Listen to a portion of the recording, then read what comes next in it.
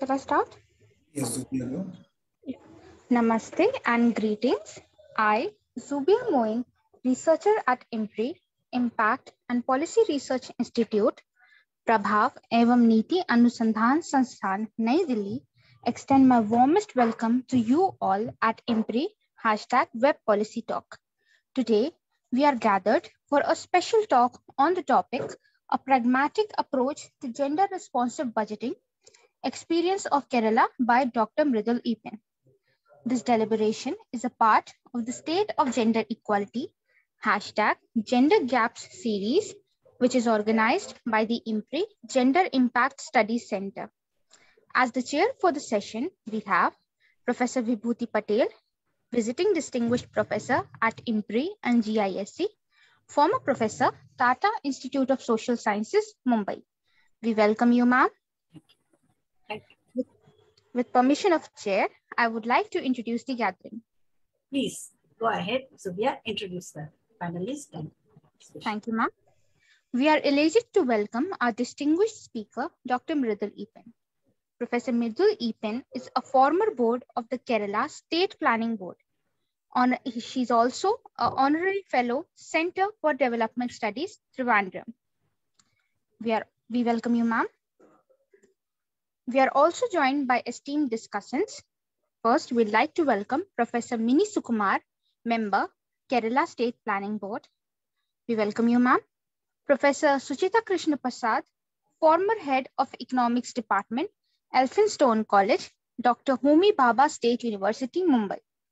We'd also welcome you, ma'am. Dr. Sanghamitra Dhar, Technical Coordinator, States, Gender Responsive Budgeting, UN Women. Uh, welcome, ma'am. Professor Ishita Mukhopadhyay, Professor, Department of Economics and former Director, Women Studies Research Center, University of Calcutta. A very warm welcome to all of you. Now, I invite our chair, Professor Vibhuti Patel, to initiate the deliberation with her opening remarks, invite our esteemed speaker, and to proceed further. We look forward to learning from the esteemed gathering. Thank you.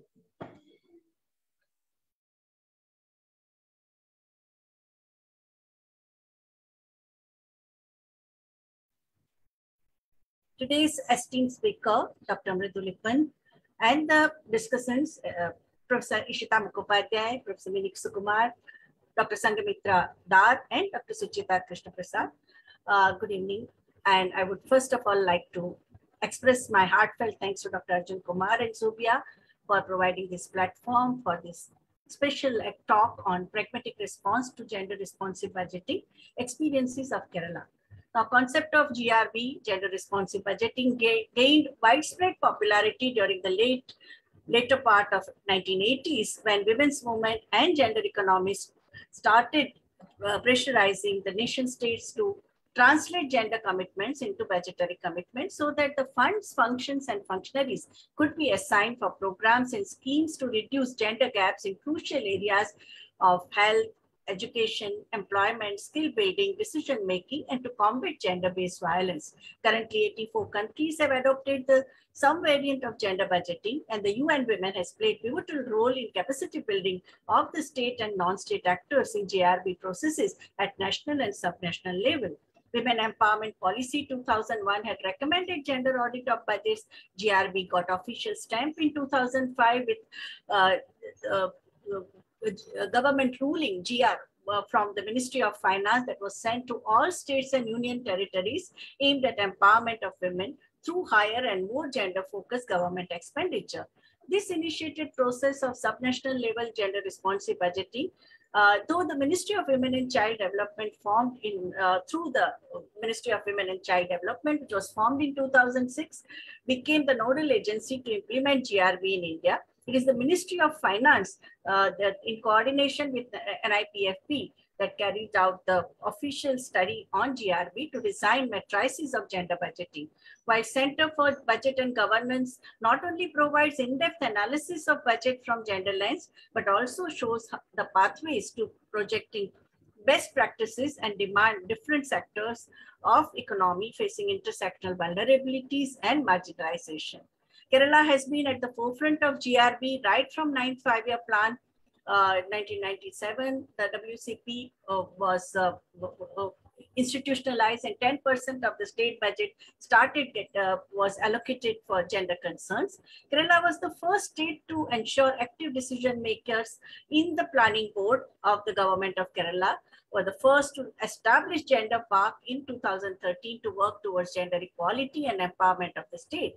So Professor Mridul Eapen, as a member of Kerala State Planning Board during 2016 to 2021, spearheaded all efforts of GRB processes with commitment for intersectional gender justice and directing development interventions beyond gender binaries. Now I request Dr. Mridul Eapen to make her presentation on a pragmatic response to gender responsive budgeting experiences of Kerala. Over to Dr. Mridul Thank you so much, uh, Vibhuti. Uh, I must thank IMPRI for inviting me for this talk. I can see people who have heard this before, so I'm sorry for them, but I hope there are some who have not heard much about gender responsive budgeting and uh, I'm addressing them. And it's interesting to, uh, to, you know, for me that IMPRI, even without knowing who all are involved and what you all are doing, I was just getting emails from them about the web talks they were having. And I was attending some of them, you know. And I found them very interesting. And I really wish uh, IMPRI uh, that then only later I found Vibhuti, you are there, and others whom I know are there. And um, I'm very happy that you all are, you've taken on this uh, task. And it's really very enlightening and good for us to have good speakers speaking on, uh, you know, on different areas. I heard the one on urban development, I remember, and I heard two, three others. Whenever I could, I have been attending them. So all the best to IMPRI, and I'm very thankful that you have invited me today for this talk. Now, uh, what do, uh, do I mean by the pragmatic approach to gender responsive budgeting? Um, the second, the slide, uh, Arjun, the next slide. Huh, Kerala has been attempting uh, mainstreaming. Just a second, I don't know how to minimize all of you all so that we I can see the full um, small active. Okay. Even supposing I don't want to see you, then what do I do? Uh, Remove the speaker option, ma'am. Speaker option. You minimize it to just speaker and then you'll see the screen. This one? So this chota one? where is that right, one is it right top Me, आपको दिख रहा है view, view in that yeah in that okay. you change it to speaker and then you'll get the screen on your uh, uh, exit full screen no swap video shared screen side by side gallery side by side speaker this one yes yes yes, yes. i press on that is it yes. okay so I get the full, uh, now I get you, Sang Sanghamitra, so it's okay.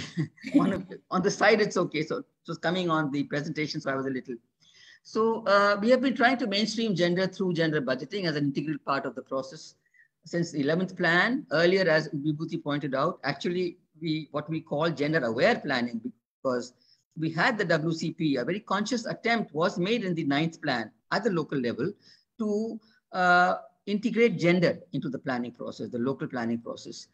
And uh, there was a 10% mandated out of the funds which devolved from the state, not state funds, but the, the funds which devolved from the state government to the local bodies, 10% was supposed to be kept for women-specific schemes, and the other schemes were supposed to undergo a gender lens. So the mainstreaming didn't happen, but the WCP continues, and only now I hear that local bodies are actually engaging in gender budgeting. 20 or 30 of them have done it, but I have not seen the document as yet. So from WCP, there also uh, um, you know, migrating to a gender responsive budgeting type of situation.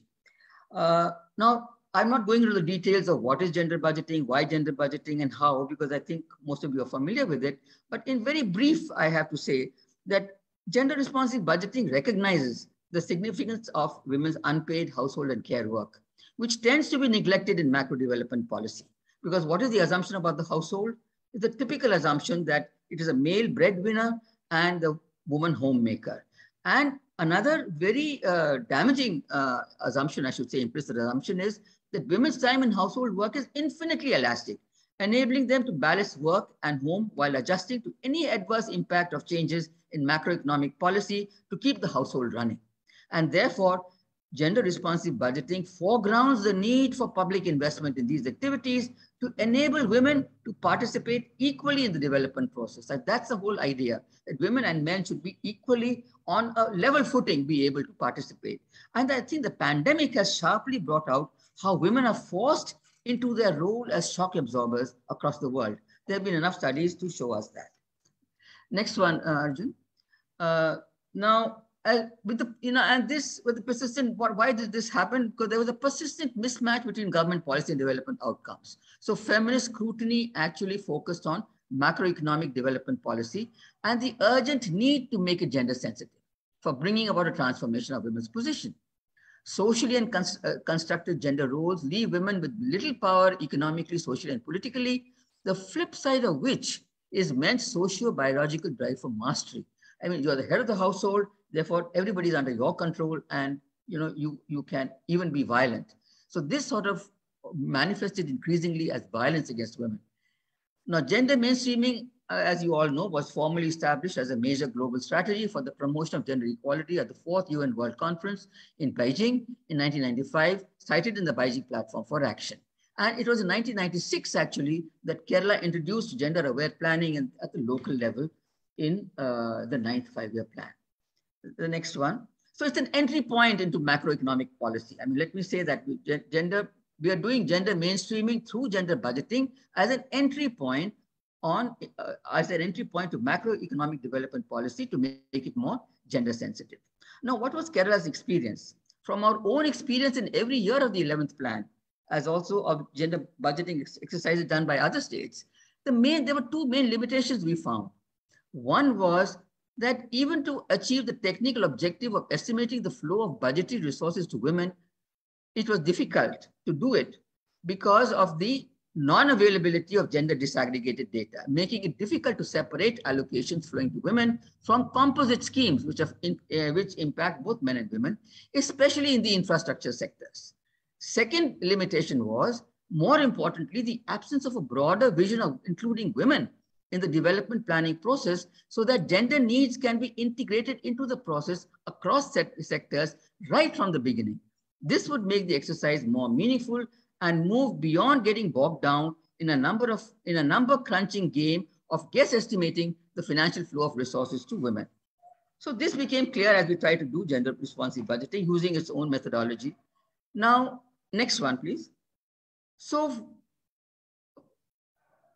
as we know, the, the focus of most gender budgeting work has been on the expenditure side of the gender budgeting, classifying resources flowing to women into part A and part B, the two together giving us the total. However, as I said earlier, it was difficult to segregate men and women's resources in composite schemes. Also, we could do this only for gender-related sectors where we knew very much that women are there and perhaps had some macro data on the numbers of women involved in agriculture or in dairy farm or in uh, uh, in, in fishing, in uh, education, health, where we had some data available, we could do this exercise for gender-related sectors. Like, as, as I said, like women and child development, social welfare, traditional industries, etc.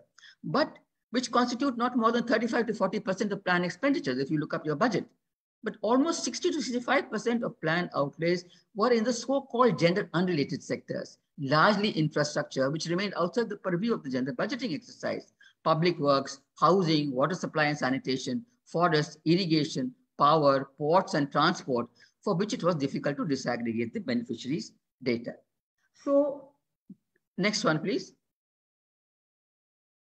So that was the methodological challenge. How do we disaggregate the data of in composite schemes? Now, so clearly one had to move beyond numbers and a focus on the chapter on women and child development to looking at women as growth agents in the state's political economy across all sectors, which meant engaging with visibilizing women in each sector, recognizing their contribution as consumer producer or worker, emphasizing the need to consider their needs, interests in the overall determination of sectoral and de macro development policy, and the extent to which allocations can be shifted towards social and economic investment and provision of public goods beneficial for women. There is enough evidence to establish that we know that there is women are there in almost all sectors, but that they have not been, their problems and their growth achievements have not been adequately addressed in the planning process. In short, gender has to become an integral part of development planning, keeping in mind the fact that it is also a political process because you have to shift resources from some sectors to some other sectors. In Kerala, the attempt was to address these lacunae, the non-availability of gender disaggregated data and some sort of a perspective on women and their priorities in the state's economy. These, we, we attempted to address these lacunae through a more doable and pragmatic approach. We tried to see how much we could do with whatever we have in a pragmatic way. So we did that in the 11th plan when we did the general responsive budgeting. In the 11th plan, we did not produce any document. We used to just send the data, which would approximately be part A and part B, and send it to the finance department, which then uh, took it in there. The finance minister would quote some figures from these tables in his budget speech. But the 13th plan, we actually became a little, you know, uh, we, we strengthened the methodology a little bit more, and we could actually produce a document for all the five years of the uh, 13th plan, and this is continuing. And this is one thing I think which I have to emphasize, that it has become sustainable. It is a sustainable exercise in, in Kerala now. For that, the reason I, I'll come to it later, but it is continuing and it will continue for the rest of the years also. So now let me just quickly uh, take, uh, uh give you all a, a feel of what was these, what was this pragmatic approach? What was the necessary steps in this pragmatic approach? The first uh, what were the ingredients? The first was, of course, a strong government commitment. I think now most states have been able to manage that. The finance minister or the governor or the chief minister announces the gender budgeting is part of their uh, part of the agenda as far as budgeting goes. So this probably is now uh, not uh, relevant to most of the states because they have achieved this. Second is need to identify thrust areas of women's development. This is very important because it guides us in the process of formulating schemes and integrating gender into the plan process. So when we are making employment schemes, we also are aware that we want to generate or we want to create employment for women. We have that as a thrust area. So then we will try to push in the employment scheme for women and of men or men and women together into every sector that is that we have we think it is possible. So we have to identify areas of women's, trust areas of women's development, which will guide the process of formulating schemes and integrating gender into the plan process. Public expenditure would have to be directed to such schemes, some exclusively for women, while composite schemes which benefit both men and women have to be made more responsive to gender concerns. That is, what is the prag pragmatism in that? To focus on programs rather than finances and to then ensure, to the extent possible, that funds are made available for these schemes. So let's first think of what we want to do for women, and then we start thinking of how to get the funds for that. Third is creating awareness on the significance of gender across departments, even those which are apparently gender related, because most of the time when the format goes to them, they say, but we have no schemes on gender. It doesn't relate to us. So what did we do in the 11th plan? What was the pragmatic approach we took? For instance, in the 11th plan, we initially restricted ourselves to primarily women's issues which would not be taken up in any other department. It would be taken up by the women and child. It was called social welfare at that time. So gender-based violence, empowerment of women, occupational health, all these figured in the chapter on gender. Next one, please. However, in the next two years, in the and as we as I said, women are there in all the sectors. And in the next two years, in the post 2008 recession period, when government was spending large amounts of resources on infrastructure to revive the economy, we forayed into the infrastructure sector with 100% women schemes, which would visibilize women in so many more sectors and be easily identified. So even transport, if it says, but how do we separate how many women are traveling by bus and how many men are traveling by bus? We say no. You think of how what scheme in your department would benefit women. So they said, yes, we should have good toilets and restrooms at all major bus depots. You see? So this was 100% if you take it for women in infrastructure sectors, at least as a beginning, it is a, a, a major pragmatic approach to sensitizing officials and policymakers to gender by focusing on 100% women schemes. So we had, you know, we know that women too need infrastructure. So we evolved a scheme on gender-friendly infrastructure prepared largely by the departments themselves which was preceded by a one-day capacity building workshop for officials. The, the morning was for some academic or some theories on what is gender. In a, in a simple way, they were told about gender, what is gender, what is gender sensitization? What do we mean by sensitizing macro development policy? Afternoon, we gave them a checklist which was prepared by the Ministry of Women and Child Development of Government of India at that time, at the uh, time of the 11th plan, I think they prepared it. And we said, you make proposals looking at this. We, we modified the checklist a little bit, made it simpler. You look at the checklist and make proposals for your own department. So this was a very helpful exercise. Make them do it themselves in the first workshop. So this was one way, what I call the pragmatic approach to sensitizing officials and having some schemes also in the infrastructure sectors so that from five or six sectors which had gender schemes in 2009-10, we had about 12 or 13 sectors in which we had gender sensitive, sensitive schemes in 2010-11. So uh, next one, please. Now, I am just giving you what I thought was, I'll give you some examples of what I mean by part A, what are the schemes, how did we do part A and part B. Now, I'm taking more of the current ones. What we did in the 11th plan, I'm not taking that much, but some of the schemes were there earlier. Some of them have come new. Some of them have got new components. Now, this is the way, for instance, you can, an infrastructure sector, police or housing, how do you make it gender sensitive?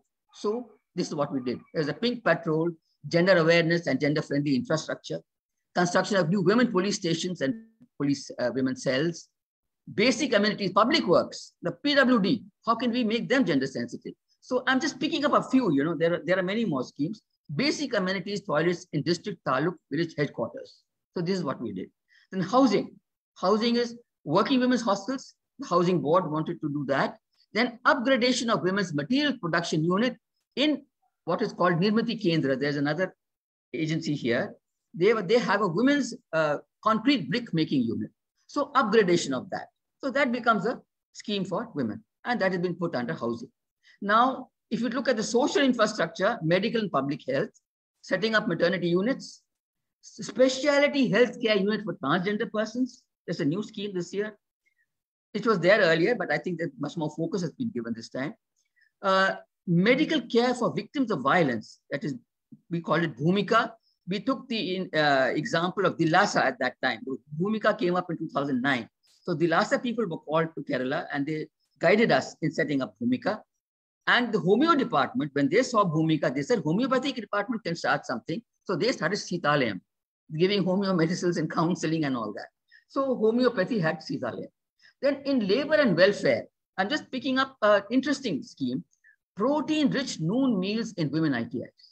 We visited an ITI in Trivandrum, and I found that it was much under capacity. You know, the girls, there were not as many girls as warranted by the capacity of that. So uh, we just said, you know, girls have this problem, you know, getting up early in the morning, coming out, and if they are married, then what about their food and everything? So we said, you just try this one little scheme. Give them, you say that noon meal is free for you in the And you believe it or not, it has really done wonders. You know, this noon meal for women in ITIs, it has really done wonders. It grew from a very small number to about four crores now. All women ITIs are covered. So that is one. The second one, and I'm calling part A 90 to 900%. I'll just tell you why. Uh, no, please go to the next one. Because NREGA in Kerala, 90% are women. Unlike the mandated 33%, and other states, I think 50 to 60% are women. Here, 90, above 90% are women. I didn't want to leave them out of gender budgeting part A. That's a very important component for us. So we have modified part A to 90 to 100. So NREGA, then we have Kudumbashree, which is a uh, specifically women's program where we put a lot of money for livelihood promotion. So Kudumbashree is there. So art and culture, this is now, we are emphasizing a lot on art, culture, and sports, which we think are very good ways of flexing minds and you know making people more gender sensitive through these activities, rather than probably being given uh, you know uh, sort of lectures on uh, gender sensitization. These are things, cultural initiatives, which can have a, probably a, a, higher impact, we feel, because culture is so important to women that we found that. And so Samam is a new cultural initiative for gender equality. Then Kerala Chalachitra Academy. There's one Chalachitra Academy. They want to train women in technical field of cinema. You know, the women are anyway very not found much in the cinema field, but there's so much scope in the technical areas also. Even if you're not directors, you can work in the technical area of cinema. So there's a scheme like that. Then there is a Kerala Sports Council Football and Volleyball Academy. Something different, challenging gender stereotypes. Sports infra facilities in special zones for women, another scheme. So I'm saying if you know what you want to do, you can definitely think of a scheme and try to put it in the plan. That's what I'm trying to show you. Labor and labor welfare, another very interesting scheme was studio apartment for working women in urban areas. So women travel, travel, lots of jobs are coming up in urban areas. Women want to have small apartments to themselves or rental. So studio apartments for women, that is also taken off. I think last year it has taken off. So two crores for that. Then in women and child development, I had to include this. It's a women and child development scheme. We have been struggling to get eggs and milk to be you know, agreed upon of being served in Anganwadis. This year, the planning board succeeded and, and the department also succeeded and eggs and milk will be given, I think, thrice in a week to Anganwadi children. So that was a big achievement, 61 crores for that. Then Ashwas Kiranam is another innovative scheme in, scheme in, in, in, in the plan where, women who are largely the caregivers for physically and intellectually disabled children or, uh, or elders, they are given a certain social assistance, a small amount, but just to recognize their care uh, economy, like their care giving role. Uh, next one. Uh, but we know that these are 100% women scheme, but the larger resources flow to composite schemes, which benefit both men and women. So what was that we felt the need to develop a pragmatic method for separating the allocations. That was the, and strengthen the methodology of Part B estimates further. So one mechanism which helped us in this process was that while macro level data may not be available by gender, scheme-wise gender disaggregate data are indeed available with departments. So they have the we have the, they have the data. So you know keep on pestering them to give us that data, telephoning them, bringing them up. You know we want this data immediately. But the, they, they of course are also uh, you know there's a problem for them because there's such massive data, and I'll come later to uh, you know what we should be doing, helping them to actually to how to uh, systematize this data collection which they have. So through a well-established, and how did we, the pragmatic approach was, how was it done? We have a well-established planning process, the annual plan discussions. So while impressing upon departments the importance of 100% women schemes, the need to specify share of women for composite schemes or the share expected to flow to women based on their own experience or based on gender disaggregated beneficiary data which they have was also stressed. Next one. So uh, departments were encouraged, persuaded to break up total scheme outlays into components, highlighting those directed at girls or women, or have a woman component in terms of a specific percentage, or make available to us gender disaggregated data on beneficiaries, in some cases perhaps of the previous year, which could then be used to separate out the flow of resources to men and women. Fifth, we, it was very necessary to provide explanatory notes at the end of part B. Why should why have we done this? Why have we taken 30% or why have we taken 40%? We have to explain it. So I know that the methodology is not anywhere perfect, but to me, it's a some sort, some sort of a pragmatic, practical way of whatever we have, try to see whether we can get some robust estimates of what is flowing to women. Next one. Now, sixth, what were our thrust areas? Skill development, employment generation, livelihood security, given the low WPRs in the state, creating an enabling environment for women to work through provision of basic amenities, we have to look at women in their broader uh, uh, ecosystem. You know, they have children, they have household work. So creating an enabling, and they have to be safe and secure while traveling and at workplaces. And prevention, the third was prevention of gender-based violence. So these were the broad things we had in mind. So when we were doing planning, we kept these in mind to make the schemes. And the thrust areas are also modified if necessary. Given extreme events in particular years or emerging areas of gender concern, the whole state machinery, planning board, and the departments gets into action to reprioritize schemes. In the, in the flood time, more had to be given to the local bodies to, to give livelihood support to the, uh, to the women. So more funds were directed towards that. Some of the funds were uh, reduced from the other departments. So you can also modify the, the priority areas given the, the situation. So I, I'll not go to detail. I think it's understood. So uh, the next one, uh, next one, we are going, huh, the floods, for instance, we had to reprioritize. Next one. Next slide, uh, Arjun. Huh. So this year's DB schemes has schemes on COVID affected sectors and people. So we know we have we have that. And uh, uh, health sector and generating employment, more funds on socio-cultural schemes that for greater safety security of women. So there are, they have added more emphasis to education and employment because Kerala is, uh, you know, uh, is charting out the route to a knowledge economy. So education, skilling is very important. How do we access that from the total plan outlays of the government of Kerala? And because of the state's thrust on a knowledge economy. So more emphasis has been given on higher education and skilling in this particular budget on women's safety again, because we've had violence during COVID. So more funds have also been given to the uh, to create a gender awareness in different ways. And that's another interesting thing that you keep thinking on different different schemes. If one doesn't work, think of another one. What can we do to make things better? So that is what we have been doing. The total uh, budget also includes schemes for students returning from Ukraine. We have lots of students who have come back from Ukraine, but I don't have the number of girls and how much is going to girls. But the budget, uh, the state budget carries an allocation for that. Hence, by the 13th plan, you are able to develop a doable framework. Uh, with, uh, uh, with, outlays allocated for 90 to 100% women-specific schemes included in Part A of a gender budget and schemes in which women's share is specified.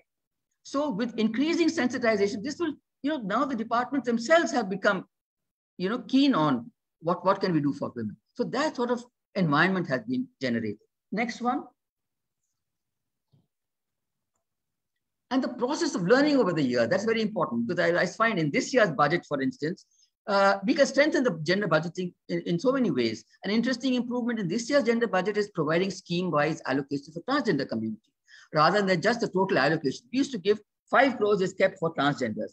This time they have actually given it scheme-wise. So this is an improvement. And both in part A and B, a brief picture of the scheme is written up in this uh, particular budget, 22-23 budget, under the new member, Mini. They have given also a write-up on the, you know, remarks on the site. What is the, uh, the, the project about? What is the scheme about? So including gender into budget has to go beyond numbers to engage with visibilizing women in each sector, recognizing their contribution, emphasizing the need to consider their needs and interests in the overall determination of macro development policy and the extent to which allocations can be shifted. Quickly, we'll just go through the part B so that you understand uh, how we did the part B uh, thing. I have not given all the details. Uh, next one, um, Arjun. See, developing in the health, for instance, developing PHCs as family health centers. That's one scheme. There's a, there's a wonderful scheme that has happened. The, the primary health centers are now much added activities and they're called family health centers. We took the uh, inf information from them and they gave us the information, 50%, they said. It's not that they are making it an easy number. No, they looked up their documents and told us 50%. Similarly, comprehensive mental health program. Both men and women are there. So you have to ask the department to give you a split up. They gave that. Then from the NHM, NRHM Flexi Pool, the components are there. We take the reproductive sexual health component and we get the number. This is only the state plan, okay? We're not including the central plan in this. Education, we have a scheme on free supply of uniforms. It is 50-50 because there are 49.75% are girls up to class 8. So we put 50%. IT at school, educational technology, which came in so handy during the pandemic. Support for students in international collaborative degree programs, okay, under higher education. Money is kept there and girls are given 68% of that teaching, learning, and skill gap reduction in the in the new situation of wanting to create a mm, Kerala knowledge economy. A lot of emphasis has been given there. Urban development, waste management, and we have now. I cannot say we are the only state because Orissa has come out with an uh, uh with an urban employment guarantee scheme which is much larger than ours. Ours is 125 crores now. Just like the NREGA, we have this Ayyankali urban employment guarantee scheme. In health insurance scheme for migrant workers, we have Aawaz, 1.5 crores we, uh, and we have, because of the pandemic, lots of non-resident Keralites have come back. So there's a big scheme for them. Quickly, I'll go through that. Uh, I think there's one more table on part B. Uh, Arjun, because I'm running out of time. Responsible tourism. In tourism, training and capacity, there the components are given, you know. Empowerment of women and marginal communities through tourism. Because we know that tourism, lots of women are involved in growing things in responsible tourism. The hotels are supposed to uh, to, uh, to buy things from these self-help groups of women, more, largely Kudumbashree women. So we can get from the components, what are the things going to women, and we can put that as the allocation to women. Transport is another interesting one.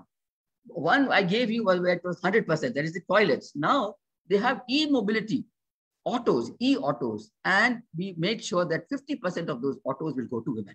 So there's a composite scheme which has been split. Then Kerala Maritime Board, they have training programs for their engineers and officials. So we told them, give us the women. Are, are there women in your, uh, they said, yes. Okay, give us the numbers of women. And we could take that, small amounts. But, you know, it shows that they're all getting conscious of this. Art and culture, one of the, you know, the most uh, dream projects has been this KSFDC facilitating two feature films by women directors and now two by SC, ST directors. So that's an addition this year and two more films by them. So uh, then, of course, cultural and, and uh, upliftment of women and transgender persons are other schemes of which we take the proportions. Uh, uh then uh, seventh, I'm coming to the quickly to the um, the most critical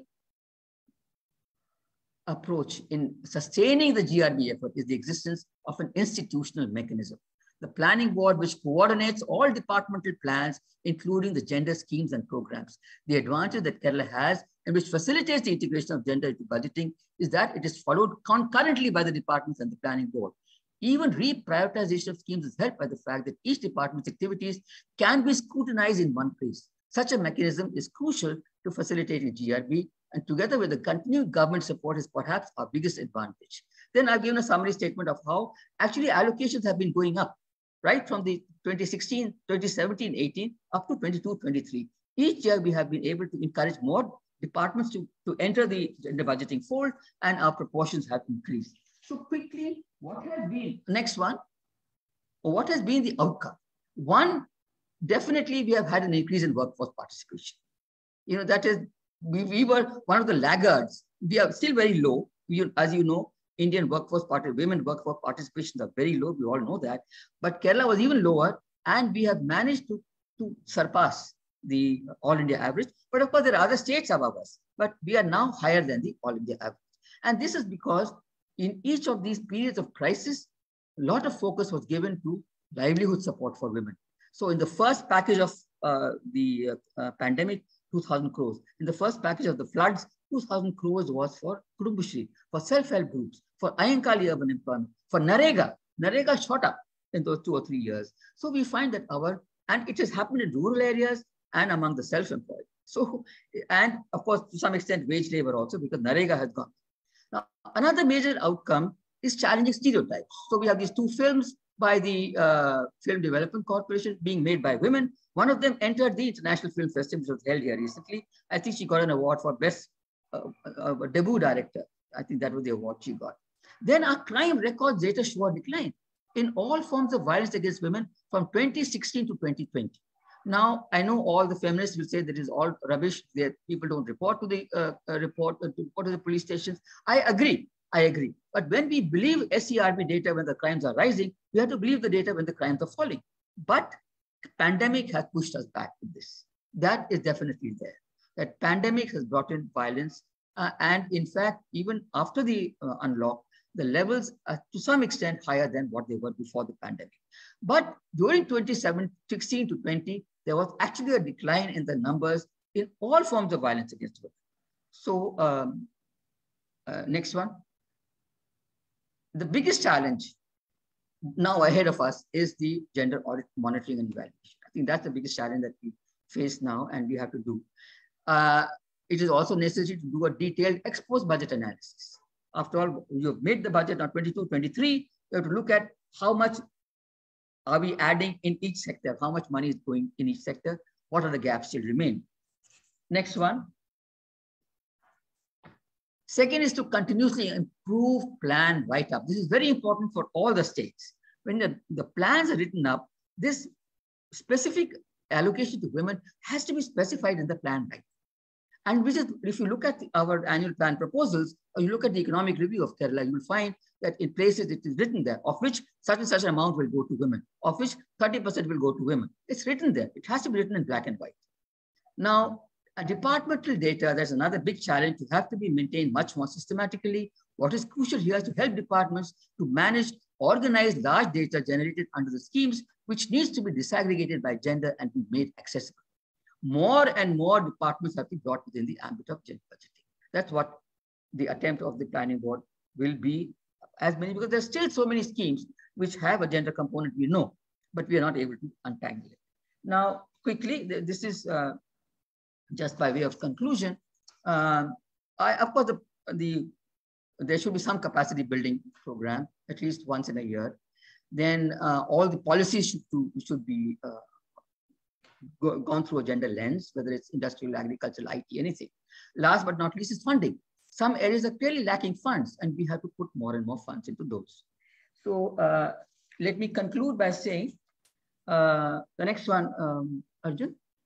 The, price, price process described above is for the gender budget at the state level. As I said, there's a gender budget at the local level also, because that is 10% going plus whatever they get in the other uh, sectors that will be. So that is now being, uh, being uh, uh, honed and being improved. And this, what I presented to you was only the state budget, gender budget. So gender budget at the local level should go beyond the 10%. The 10% is the mandate, but they should foray into other areas and that should be added to the gender budget. In conclusion, despite its limitation, it is useful because it sensitizes government society to the fact that budgets impact differentially on men and women, but by doing so create a consciousness that women's needs have to be built into the project formulation, which should get reflected in the scheme plan write-ups. And last, of course, it's a political exercise, we all know, because shifting anything from one to the other there will always be the underlying gender relations are unequal. We know that. And so it's not very easy to get funds for, for last one. The last one, there's another slide. It's a political economy question. It should not be lost sight of. So while uh, on the one hand, it's, a finding a fit between the technical project of mainstreaming gender equality in policy, programs and projects, the political project of challenging inequality and promoting women's rights I think you were showing it in your chart, Vibhuti. We have to keep fighting for that. You know, that is not over. But we are using this as a means of achieving that. Hence, the struggle for gender equality will continue. But unequal gender relations can change and gender stereotypes are being challenged, cannot be denied. We saw what happened in COVID, which were the best countries who performed, the countries which were man or which were womaned by women. So we had the COVID-19 has come out strikingly and we have challenged the androcentric views on leadership and governance. So social relations can change. That's what we are trying to do through gender budgeting. Thank you so much. Thank you, Dr. Mridul Eapen, for very, very comprehensive uh, uh, an exhaustive presentation delineating processes of gender responsive budgeting in Kerala, explaining concepts, policies, programs, way forward, challenges, and connecting micro, meso, and macroeconomy, and also uh, emphasizing the role of uh, political struggles uh, in ch challenging the gender norms and also the political economy issues. Now, I would like to ask Professor Ishita Mukhopadhyay that as gender economist, what is your response to Dr. Mridul Eapen's presentation? Over to Dr. Ishita Mukhopadhyay. Uh, thank you, Mridul, for uh, laying down the Kerala budget experience and also making some general comments on the take from a gender responsive budgeting. So I would rather comment on the take for India as a whole and for from the Kerala uh, model.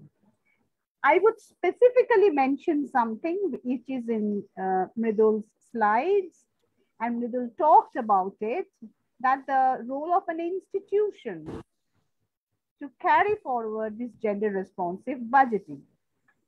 And this is the plan, the five-year plans and planning board and planning institutions. So I think the take for India, this is very crucial, that the plan mechanism. How is the plan mechanism related to the gender responsive budgeting and how the, the institutions are so crucial.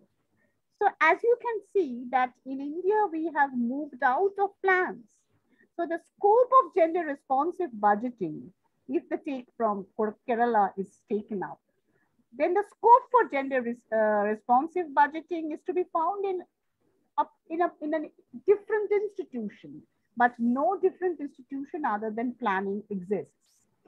So uh, what is to be done in current in India with the dissolution of the gender planning apparatus? So this is a crucial question of taking the take away. The second, I think I would just uh, lift from Mridul's presentations a few points. Second is the public investment part and the part of looking it up as a macro policy. This macro policy aspect of gender responsive budgeting is often missed out when we talk about GRBs. Even in the international scale, when we talk about GRBs, this macro policies and the appropriate macro indicators to indicate the direction of the fiscal expenditure budgets to direction of these. This is very crucial. The to look into or to get the signals out of the appropriate macro indicators. So macro policy is an essential part of it, which is mostly missed out when we discuss gender responsive budgeting. Gender responsive budgeting is different to gender budgeting, definitely. And we will explain it very clearly that it is an indicator to building up to a much greater project of uh, inclusiveness of gender and visibility of women in all spheres. Now, uh, although this started, the whole discussion started with the Beijing platform, I would also refer to 2015 Addis Ababa Conven uh, Convention of Transformative Finance for gender mainstreaming and the take from this transformative finance.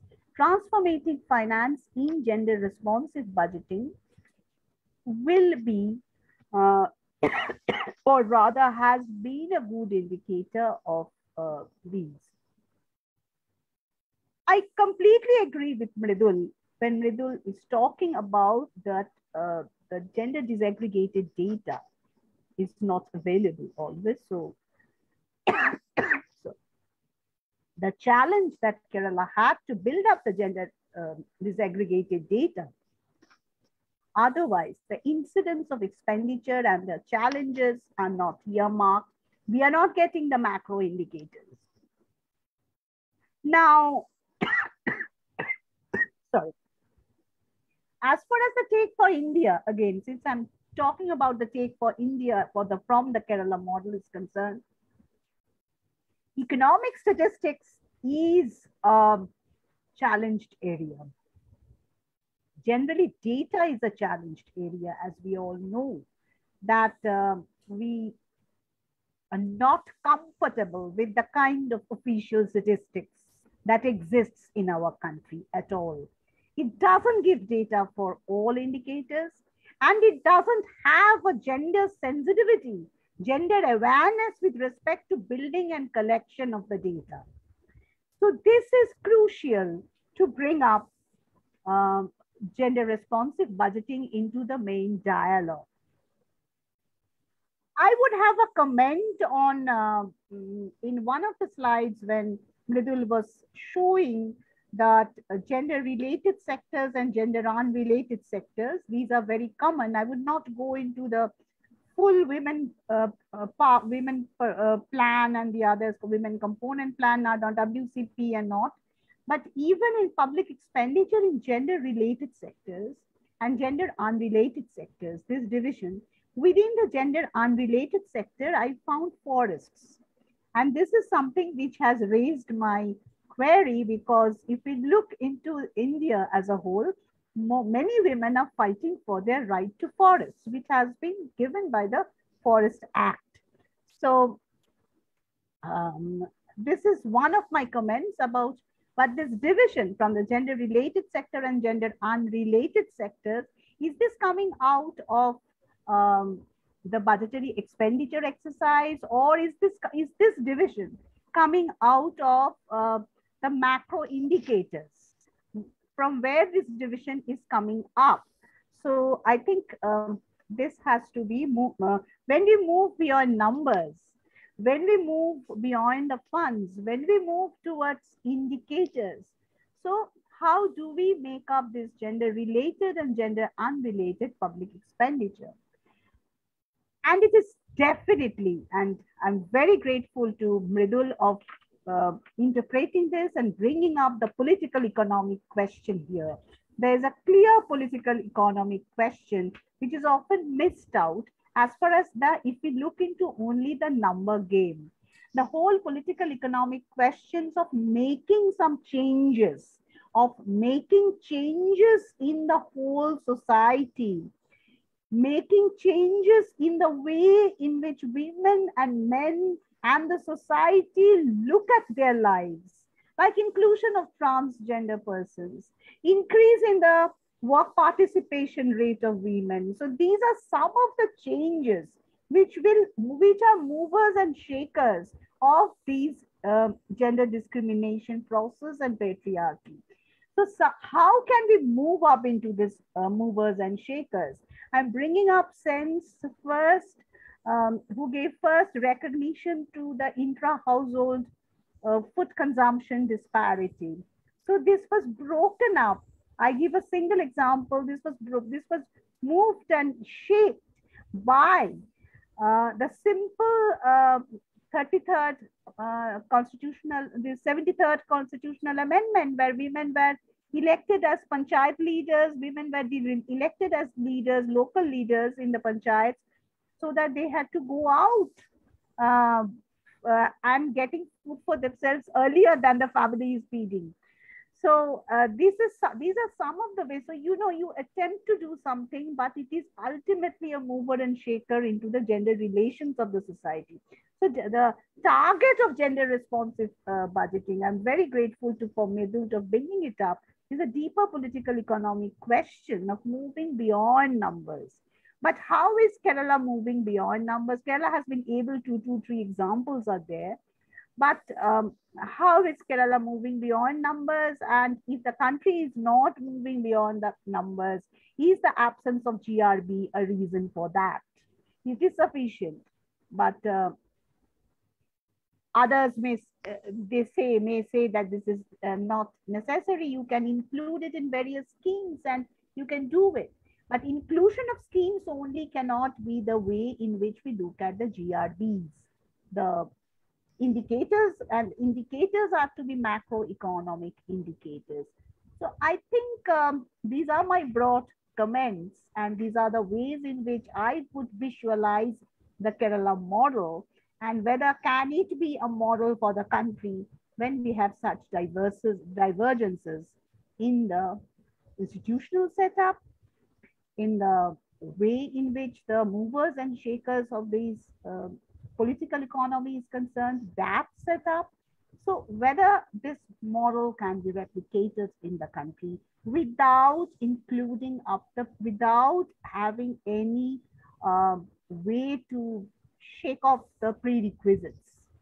So this is also the thing that is uh, my, uh, this is the headache of this gender responsive budgeting, which all of us share. Thank you. Thank you very much. Thank you, Professor Ishita. Thank you so much. Thank emphasizing you. the planning processes, very importance of plan uh, planning processes, very important. And currently, India doesn't have, only Kerala has continued. Uh, and also mentioning transformative financing, need for gender disaggregated data, and also uh, the question of political economy uh, and also going beyond numbers, very important. And the challenge that we are facing in terms of declining work participation of women, very, very insightful response. Now I would like to ask uh, uh, Dr. Sanghamitra, Dr. Mini Sukumar, that as a member of Planning Board of Kerala, what are the challenges you are facing in post-COVID period with regards to GRB? Does Kerala state have a policy for women uh, what is the state policy for development intervention for the transgender communities and what kind of gender disaggregator is collected recently. I think to some extent, Dr. Mridul has also taken uh, care of that. And as a member of governing board of Gender Park, Department of Women and Child Development of Government of Kerala. Can you tell us about the role of Gender Park and how does it connect itself with the women elected representatives of Panchayati Raj institutions and Kudumbashree, which is also again a, one of the best practice considered to be one of the best practices uh, uh, at a subnational level. Dr. Mini Sukumar. Yeah. Thank you, Vibhuti, for uh, these questions to focus my comments. Um, first of all, I I think that uh, has uh, presented in detail about the process of gender budgeting uh, that we are practicing. And uh, when I was uh, taking up the charge of the member of uh, state planning board, my task was much easier because Mridul has already laid down the processes and the approach of gender budgeting and it, it is uh, stabilized um, and uh, the gender budget has been approved and acknowledged by most of the line departments and the government and the public. So my task was much easier. But at the same time, uh, I can see that the process of gender budgeting has influenced the perception of our departments regarding how to formulate programs and schemes for women. Uh, in the before earlier they are not not at all um, uh, informed about the importance of the gender budget budgeting, and later it was like adding women into the budget. Some like the numbers. There are some uh, numbers to be included, like if there is a scheme, there should be 30% or 50% to be benefited to the women. But this time, what I can uh, see from the, uh, while reviewing the schemes, I can definitely see that there is some sort of changes in their perceptions regarding how to include to an extent the gender concerns of our society into their planning. So that is one major achievement uh, of this gender budgeting for the last few years. So this year, um, there is some innovative approaches has been uh, seen in the new uh, schemes and in the new programs. And uh, like what Mridul said, they have most of the departments has given the bifurcations or the detailing of the schemes, like the components. Like before, there was know, much of the schemes are not given in components, only giving the uh, some aggregate type of uh, data. But this time, uh, many of the departments are willing to have these components, that gender components. So that is one um, achievement with respect to the planning process. And also, um, most of these officials and uh, the ministers, they are, um, while uh, interacting with them, they are all uh, uh, supporting the process of gender budgeting and bringing gender concerns into the um, into this into the budgeting and also the implementation of the scheme. So that coordination between the government departments, the state planning board and the finance department is much stronger and institutionalized. That is one major, uh, major achievement. So this pragmatic approach has been given this um, strength to this uh, process. So I think now from this year onwards, uh, we are trying to make it more uh, in an analytical way of gender auditing. We are trying to make some sort of gender auditing for even for some selected schemes. And also, um, I think uh, we can also see that in the in the um, while the reviewing the schemes and also it is you can witness it in the gender budgeting document that certain collaborations and convergence has been uh, made successful between the sectors or between the departments uh, some of the departments are coming forward thinking about more collaborations and more convergence approach. For example, uh, in uh, in this while we are classifying the schemes into broadly into uh, four sectors, the major uh, sector was uh, like no, it is not into one sector, but the major category of the schemes were, were, were in the education, skilling, and employment. So these three things uh, has visible in many of the uh, schemes in different sectors and different departments. This has even given uh, an importance in uh, this education, skilling, and employment. So I, I, I, wish to connect this with your question about the women's policy, the gender policy of the state. The gender policy of the state is focusing on um, the employability, enhancing the employability and work participation of women. That is the main concern because we have a large number of unemployed women and a large number of educated unemployed women in our state. And this, uh, this, this potential is not being utilized for many years for various reasons. Some of the reasons are cultural, social, and economic, and also related to the developmental process of the state. So we have a very good number of women, educated women, and women having skills and other capabilities. So this, the, the, the general uh, policy of the state is mainly focusing on this, enhancing the uh, economic empowerment of women, also uh, with along with addressing the issue of uh, violence against women, combating the violence against women, and also giving importance to health, especially mental health. These are the major um, mainstays of the policy.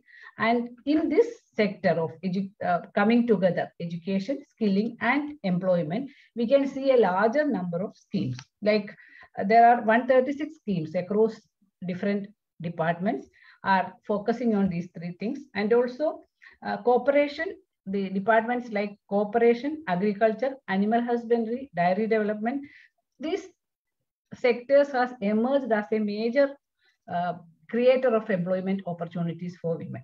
So that is one uh, importance. I, I, can see it as a result of the convergence or the um, or the spread of the awareness across the departments for uh, new schemes.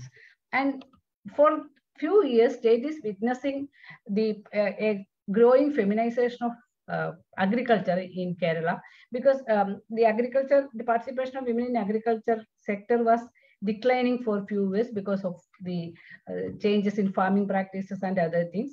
Mm, and uh, that was a major reason for the declining work participation rate of women in Kerala, like the paddy uh, cultivation, which was a main field where women workers are participating.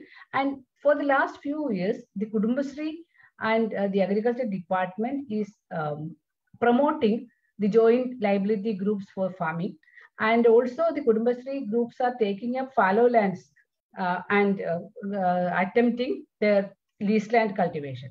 So that's a major thing. And during the pandemic, many of these Kudumbashree groups are engaging with this thing and they are utilizing the, some of the central schemes like the MKSP and also um, combining it with the um, NREGA and there are there is a, support from the agriculture department also giving them seeds and other things that uh, uh, fertilizers and all. So like that that field is emerging that feminization of this type of agriculture practices are emerging.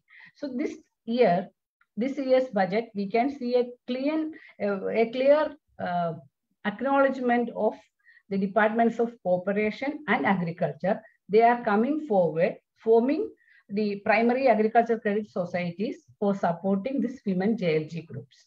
So this is one example I can uh, I can flag uh, as an important uh, important step towards this convergence of uh, and um, like what we have um, uh, following the uh, that priority given to the social security and health that is continuing and Mridul has given many examples so, uh, and um, emergence of uh, the a, a, growing emergence, uh, a growing importance of concerns regarding the working women, like giving more working, uh, set up more working women's hostels. And there is a, an innovative program called She Stay. It is um, by the Women Development Corporation. It is like uh, rooms rendered to women who are traveling as part of their uh, jobs and uh, other, um, uh, if they are traveling from their district to from their homes to other places, they will get cheap accommodation, safer, cheaper accommodation in places called, it's, these are like some, like the, like the Oyo homes, it is run by the Women's Development Corporation. So they are very safe to for women. So it is called She Stay. They have they have a um, app application based program so it can be accessed from everywhere. Any women can access this. This like this, this importance of women's travel, women's um, initiatives for their own uh, economic activities, their own initiatives for their uh, expressions are all being acknowledged across different departments. Like uh, what Mridul uh, mentioned about the cultural department for this uh, women's filmmaking and training for women filmmakers and technicians like that. So there's a growing acknowledgement for um, the, the real contribution of women, their expressions, their interests, their aspirations. That is one major impact of this uh, gender budgeting. And still, uh, we have in, in the state, we have an enabling atmosphere of political atmosphere, which is supporting women's uh, concerns and also their right to be independent. And that is one major thing. And the legacy of Kerala development and the role of people's participation. In the uh, success of Kudumbashree is mainly based on this people's participation at the local level. So, and also the importance of local uh, self-government institution. They are playing a major role in uh, in in fulfilling many of these uh, pro the schemes and also attaining these uh, targets. So the role of uh, this Panchayat Raj institutions, local self-governments and the participation of women in LSGIs are very, um, very important. Even though they are their gender budgeting uh, programs are going in a different way, but their presence and their support is a main, um, I think it's a ma major factor. And during this exercise, I'm feeling that uh, there are certain uh, challenges uh, also there are certain challenges. One is mainly what Mridul mentioned, like the non-availability of gender disaggregated data. That's a major uh, issue. And also um, the second generational issues, like uh, the, the higher number of educated women, how do we can find out um, suitable jobs for them, and uh, also the, the issues of violence against women and increasing dowry and the aspirations of the middle class for more and more money and uh, related things, uh, and all connected with marriage, the centrality of marriage. And um, the centrality of marriage is, is directly connected with the, the that domestic violence and dowry debts, uh, dowry, etc., etc. And also the toxic uh, relationships and related crimes. It's a newer area which we are just realize, just acknowledging now that there are a lot of issues coming um, of murdering young women because of these toxic relationships. And um, also the cultural setup in which women are still treated like a, second uh, grade person. So these are some of the issues which we still struggling with. So they, these are all the, these issues all have a direct impact upon this planning and other things because uh, the, the people who are sitting there and doing things are also sharing many of these uh, uh, prejudices and many of these cultural uh, issues. So that is one major thing. And the other one um, is uh, the issue of the marginalized communities like Dalit, tribal, coastal communities and the, their participation. And many of these uh, developmental indicators are not yet being shared by these um, vulnerable groups. And that's another major challenge. Maybe it is directly related to what Ishita told about the, uh, the rights of the women related to forests and how we, are, we can define that, those rights of women who are uh, from the forest communities. And a uh, lot of uh, issues and a lot of awareness also to be uh, created in terms of the issues related to these uh, vulnerable communities. The Kudumbashree is also not being very strong. It is not uh, strong in these areas.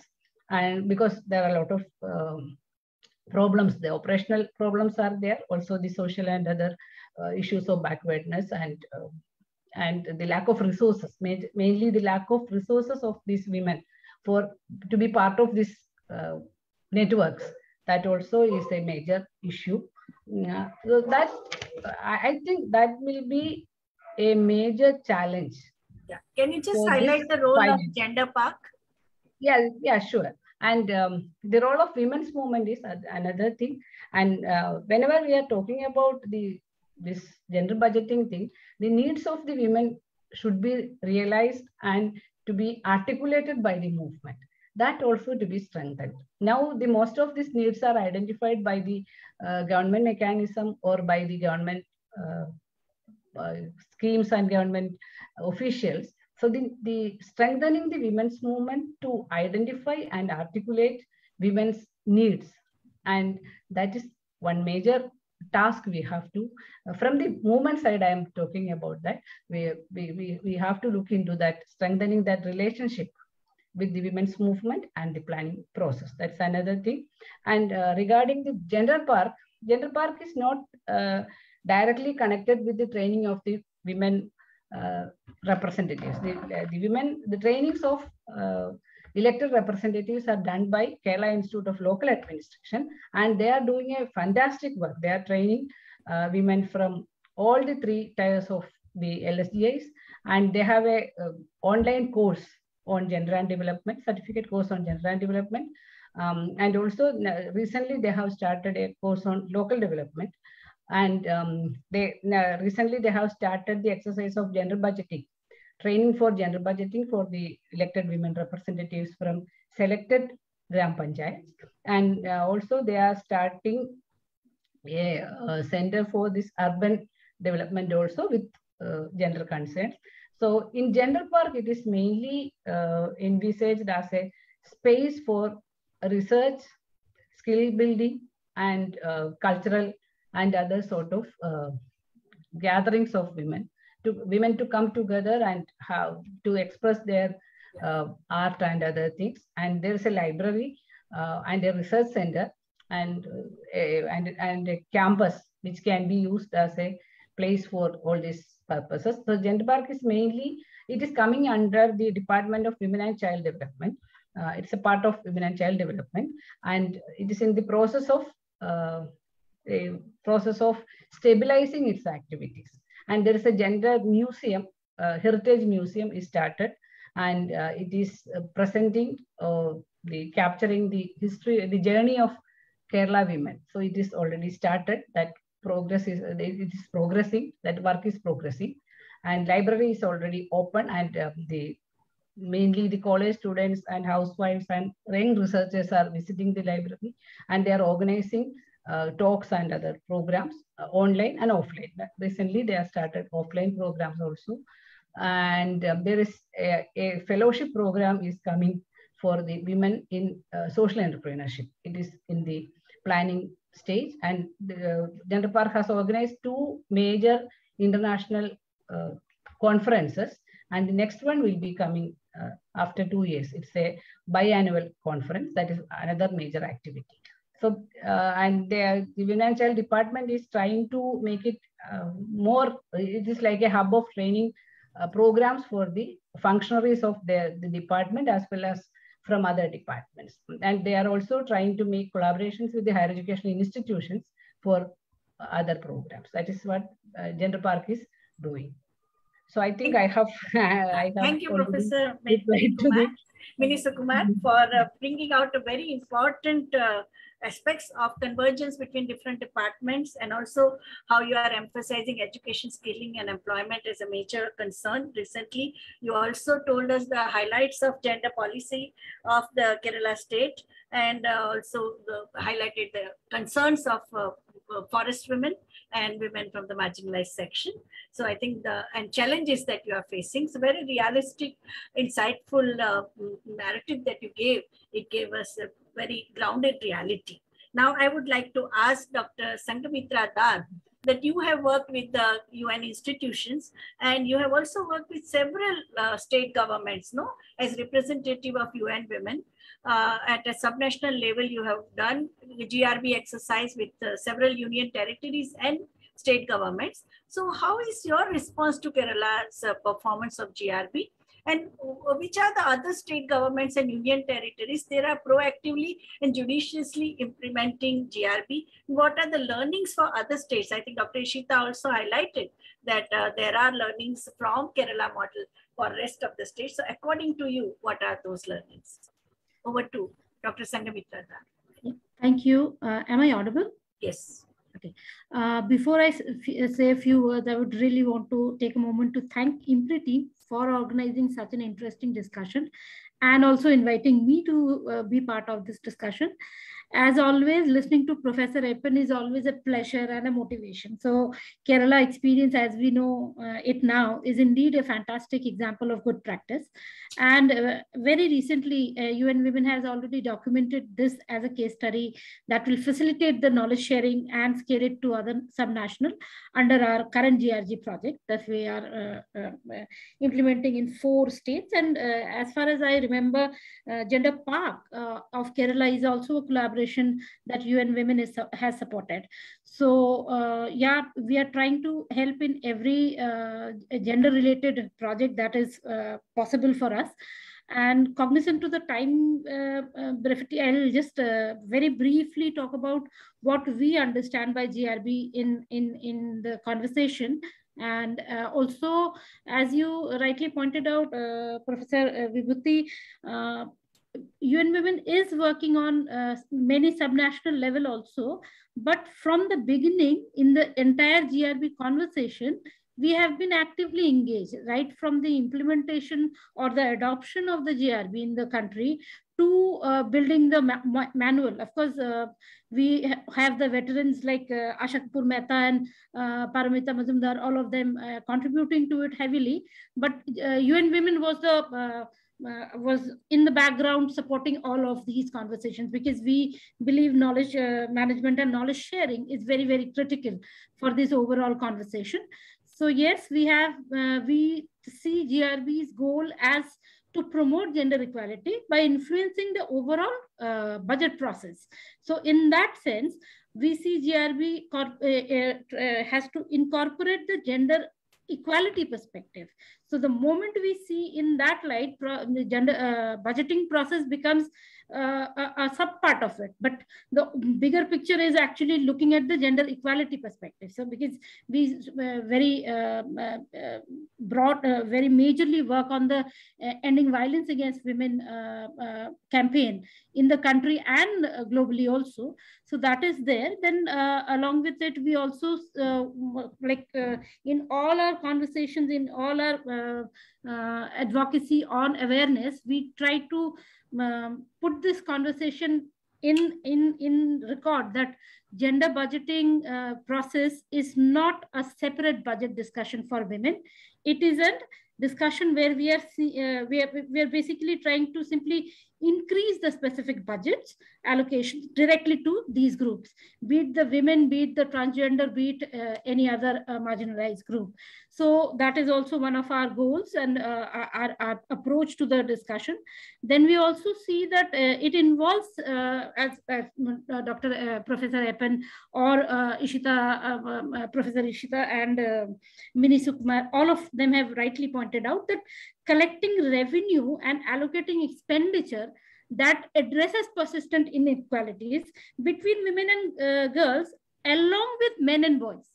If we do not see it in that bigger light, then we are actually missing out on the overall conversation, the inclusive conversation that we have. So at you in UN Women, we see it in that light. And that's why when we engage in this conversation, we strongly believe in engaging, building a strategic partnership. And capacity building is one of the major uh, aspects that we look into. Awareness generation policy advocacy and outreach. Uh, everyone has pointed out the lack of uh, sex disaggregated data. We are majorly working under this this project also and earlier also. We have been majorly working on building the capacities of the state governments in in recognizing this and building a format. So uh, like currently, if I give one example from my own personal experience of uh, handholding the state, uh, a remote state in India, in Northeastern India called Manipur, the finance, because here the convergence is between uh, finance and uh, social welfare.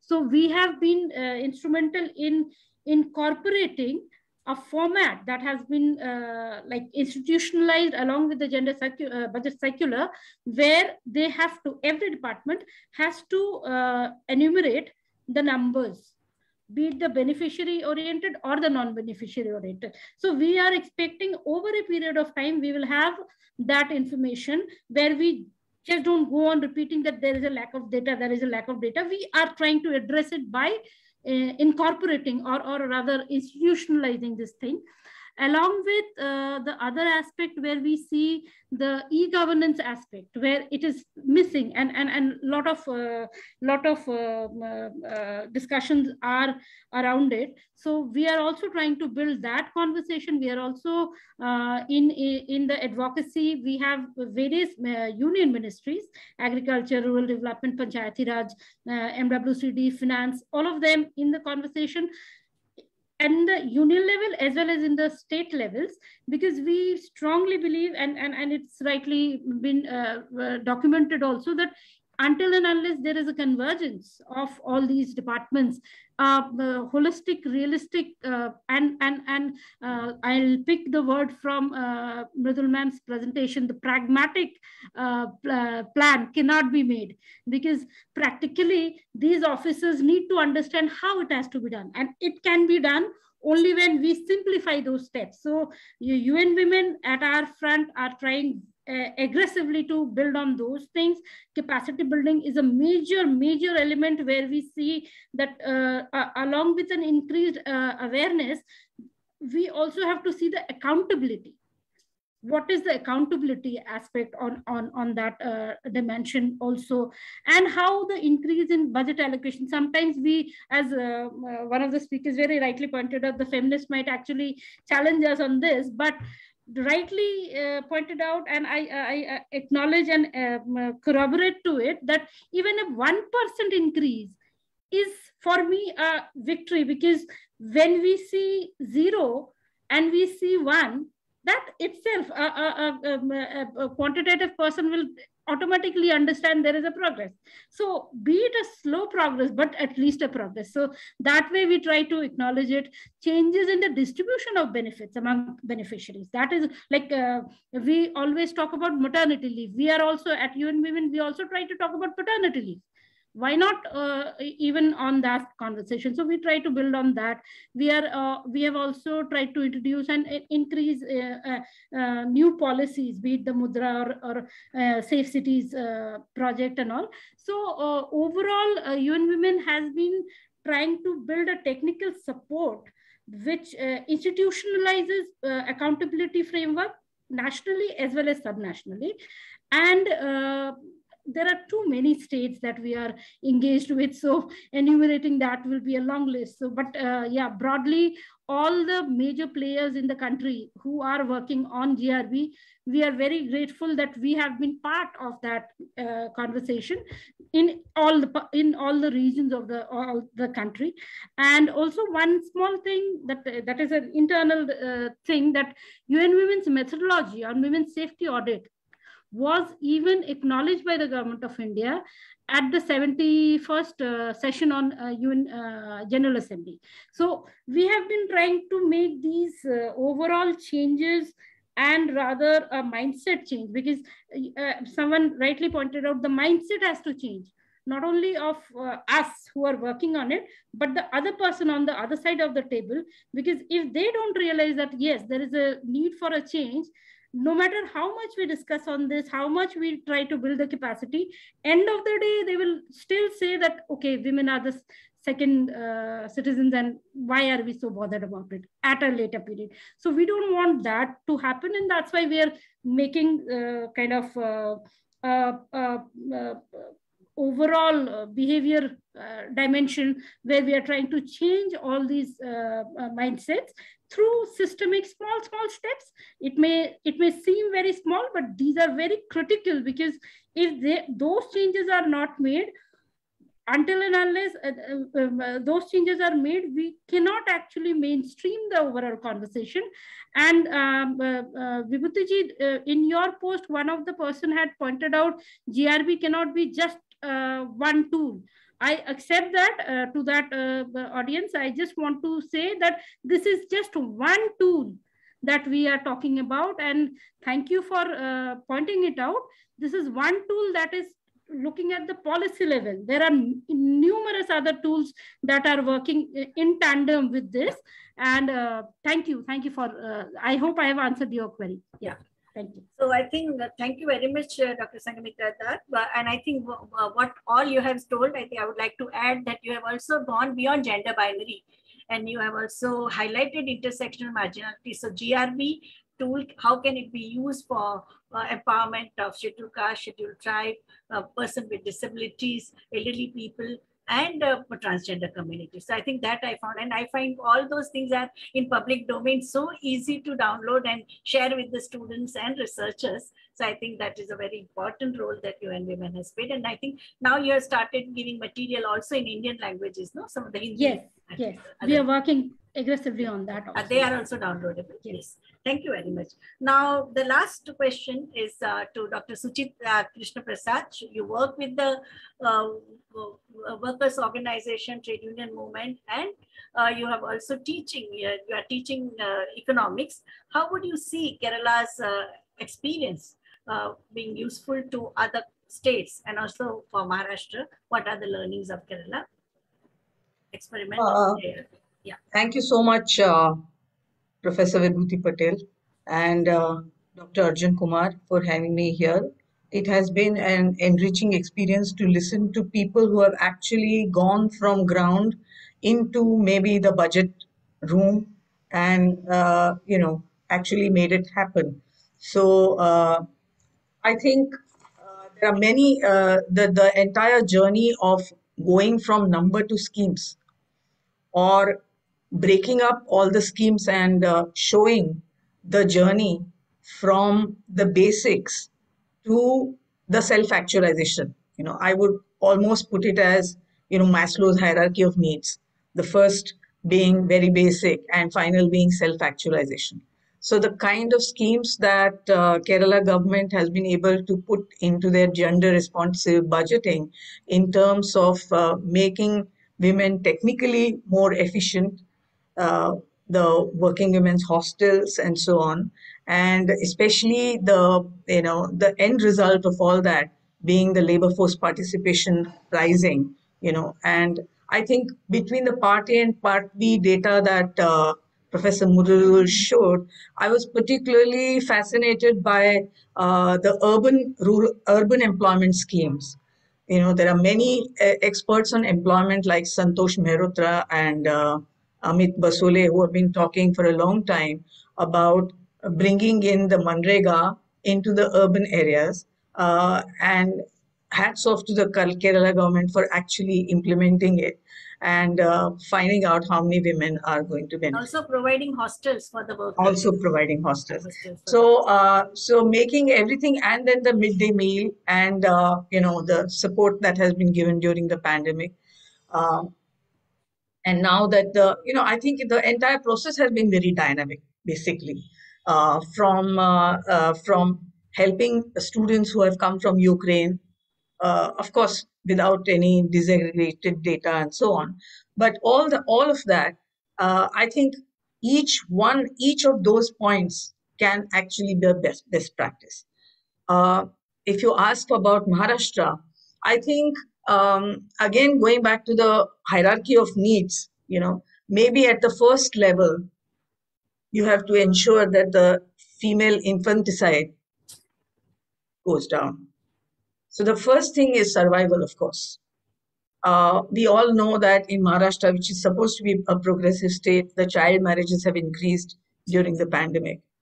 So how do we support uh, them, you know, children or families who think that uh, getting the a girl married off at an early age is the only resort. What is the support that the state can give?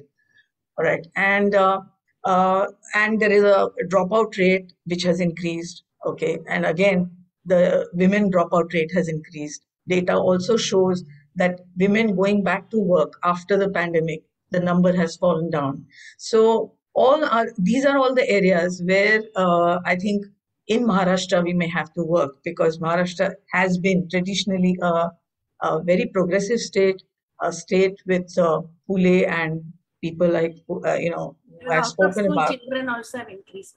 Pardon? Out of school children, especially. Out of school children has increased and uh, girls education has got secondary importance so of course the central government is coming up with uh, various uh, programs for developing digital platforms and so on uh, keeping the suspicion aside uh, can probably let's say in the local uh, self governments or local governing bodies can uh, digital platforms be made available for of course the televisions are now keeping classes for you know at various standards. So, um, so these would be, I mean, I think each one of those can be a best practice, which can be actually written down and uh, found out whether that can be taken up. I actually had one little uh, question um, also for uh, uh Professor Mridul. You know, um, Debbie Bund- uh, Budlender, Budlender and um, uh, Guy Hewitt's book on um, practical journal um, practi- practitioner's guide to understanding the gender uh, response budgeting shows that there are variations of course. Of course when we take from one uh, state to another state they say that there would be differences based on socio-political context and whether the initiatives were coordinated by mainly the bureaucrats and the government legislators or the civil society organizations. And capacity of the institutions themselves. It looks like kerala has very strong institutions. But uh, most of this effort has been from the planning board, which again, uh, as uh, Professor Ishita pointed out, at a national level, if the planning commission uh, has exited, so are we going to have a vacuum at that level? Okay, so um, in fact, even at the state level, unless and until there's a coordinating machinery, it would be hard to find out. First of all, we are talking about gender disaggregated data not being available. If there is no uh, coordinating authority, it would be uh, impossible. So uh, one can learn this also from Kerala, having a strong coordinating uh, body. Um, and um, of course, uh, I think eventually every state, right now, barring some nine states, all other states in India have introduced uh, gender responsive, in responsive budgeting, some nine states barring nine states. But I think uh, increasingly there will be a pressure because uh, women as voters have emerged as a very powerful lobby. And I think uh, whether it's a national election or a local level election, many have found out that this is a hidden voter who's probably not there in the rallies, probably not talking much. And uh, the recent findings show that women are not going by the caste or the rest of the typical uh, biases that are introduced, or the head of the family can no longer dictate women where uh, to vote. So I think this, therefore, is going to be a powerful lobby that uh, politicians would also like to woo uh, sooner or later. So, uh, um, of course, then there are, uh, you know, Nirmala Banerjee speaks of different levels once again of how to um, approach in the gender responsive budgeting. Uh, in which she uh, mentions that, of course, we'll have to support the activities which are traditionally uh, genderized. Okay, so maybe cooking gas or drinking water or better, you know, sanitation and so on. So these would be, and the safety and so on. So these are uh, of course, uh, you know, looked at as patriarchal, uh, patriarchal you know, perceptions. But they are and then, but, needs, no? yeah, and needs. yes, but uh, as we say, uh, going from that level, Kerala has moved on to a self-actualization mode. And uh, uh it's heartening to see that uh, labor force participation has increased beyond the national average um, in, in Kerala as a result of all this, perhaps. And uh, two women have actually gone and bagged award at International Film Festival, which is, you know, in the coming days, the media and the film is going to be a very important component, uh, make creating opinions. Opinion makers are going to be uh, these people, and therefore that. Uh, but coming to you know evaluation of a budget, coming to evaluation of a budget, I feel there are many which are you know some of the effects are lagged. You can't immediately, so even though we say macroeconomic indicators and so on, but when you're empowering a class of society to see their results coming out and making an impact on the society might take a little longer. especially in case of women. So uh, data says that uh, after the Grameen Bank revolution, for example, in Bangladesh, uh, it took about 15 years for average number of children in the family to drop from six to three. Uh, and uh, you know, so so this kind of uh, it's it's a long process. And as Mini Madam mentioned, that new challenges are coming up, like toxic relations and so on. But it's heartening to see that uh, the authorities are aware of these things. And when you're aware and not hiding, aware and not making another political polemics, creating another political polemics and confusing people, when you're addressing it, there is a high chance uh, that it would be addressed uh, in a couple of years to come. So I think each one of those uh, stories uh, can become a best practice.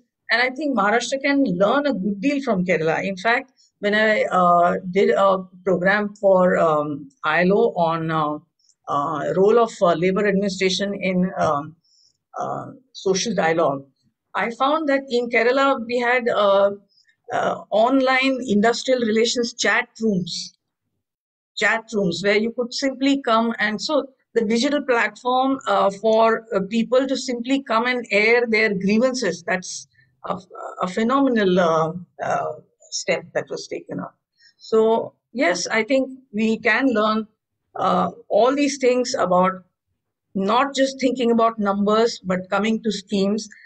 And there again, uh, probably not just being bureaucratic, but engaging the civil society organizations or NGOs. We have effective NGOs in uh, Maharashtra. We have Pratham for uh, engaged in education so many. So engaging with them and then so that it can go from top to bottom and again bottom to top and uh, you know going from one level making sure that there are no starvation deaths sadly last budget uh, this budget cut down the allocation on uh, Anganwadi and Asha, um, thinking that the worst is over and probably we don't have to support. So uh, the minute that happens, the the nutrition level goes down and the you know, and, and it starts showing um, declining results. So uh, right from there to uh, protecting children, uh, women, girls who are pushed into marriages, to protecting women who have had to uh, had unwanted uh, pregnancies during the pandemic. So there are a number of issues, and trafficking I think there's much to learn. Trafficking of girls. Trafficking, trafficking, and so on. So there's much to learn, as we said, dropouts from the schools. So, yeah, thank you uh, for for allowing me to um, share this and uh, learn from so many uh, valuable.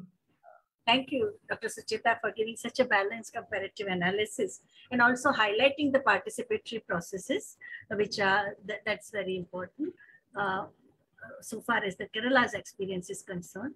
Uh, now, there is a question from, uh, from Rajini Menon from Oxfam. Dear ma'am, thank you so much for this enriching presentation. Did you have any specific approach to vis visibilize needs of adolescent girls? So, yeah, Dr. Mridul. There, you know, I just I just talked about a very few schemes. If you look up the gender budget, you'll find there was earlier a central government scheme on adolescent uh, adolescent girls. Even now there is, but uh, they are very much there in in uh, in some of the schemes that we have. Definitely, uh, you know, the adolescent girls, especially, uh, not only just through Anganwadis, and uh, they are supposed to be looking after you know, the the adolescent girl clubs and all that. But even otherwise, the government has schemes for adolescent girls, especially, and for boys also. And that's what we're real, realizing now. That so many things we have to do, boys and girls. You know, whether it's sensitization, whether it's for boys to learn right from the uh, early age, cooking and household work together with girls. So many things are now, you know, actually figuring in uh, in the minds of uh, the policymakers, because as I said, for creating a gender conscious society, we have to keep on thinking of new and new things. Because something doesn't work, what do we do? So, you know, if there, there was a wonderful program which came just before pandemic, night walks in Kerala you know, there was this, what Mini said about the toxic relationship, the jilted lovers. There was a two or three, you know, very uh, sort of consecutive uh, killings of girls, either through burning or through you know, because the, the lovers were jilted. They didn't, you know, they didn't take no for an answer. So the girl was just shot. So even the women were so agitated, you know, when the, and the minister had a huge meeting of all the concerned people, you know, NGOs and government officials and all the other teachers, etc. And in that, one of the schemes which emerged was, let's have night walks.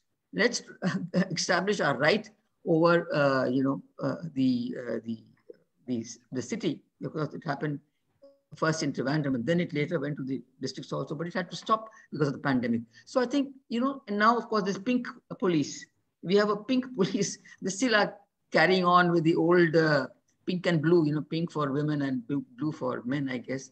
But so that there's a pink police as part of the police force and they are, you know, uh, uh, sort of collaborating or helping out communities like the residents associations, you know, to keep a sort of watch on what's happening. So new, new things in, in, in, in, uh, in creating awareness. I think that's the thing I want to emphasize that we can't sit with one scheme and think that's going to solve the problem.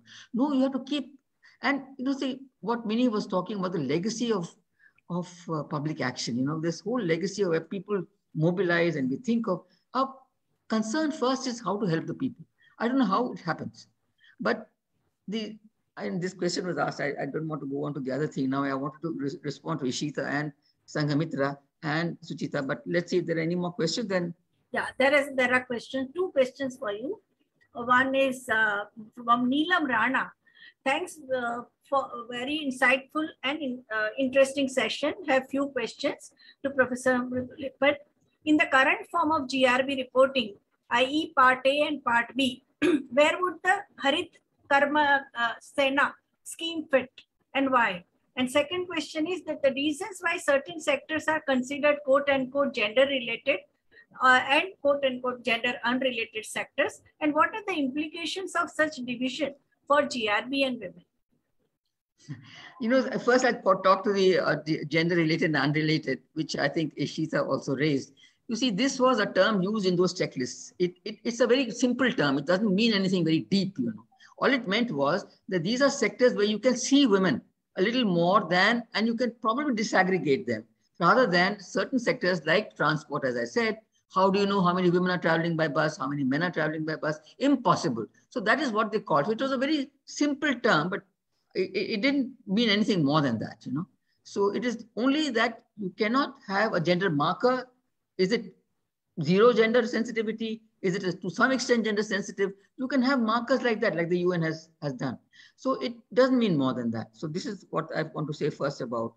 And the first question was, sorry? About the, ah, the Haritha Karma Sena. Uh, if, you know, in all probabilities, it's all women Sena. In Kerala, the Haritha Karma Sena, if I remember right, was a totally a women thing.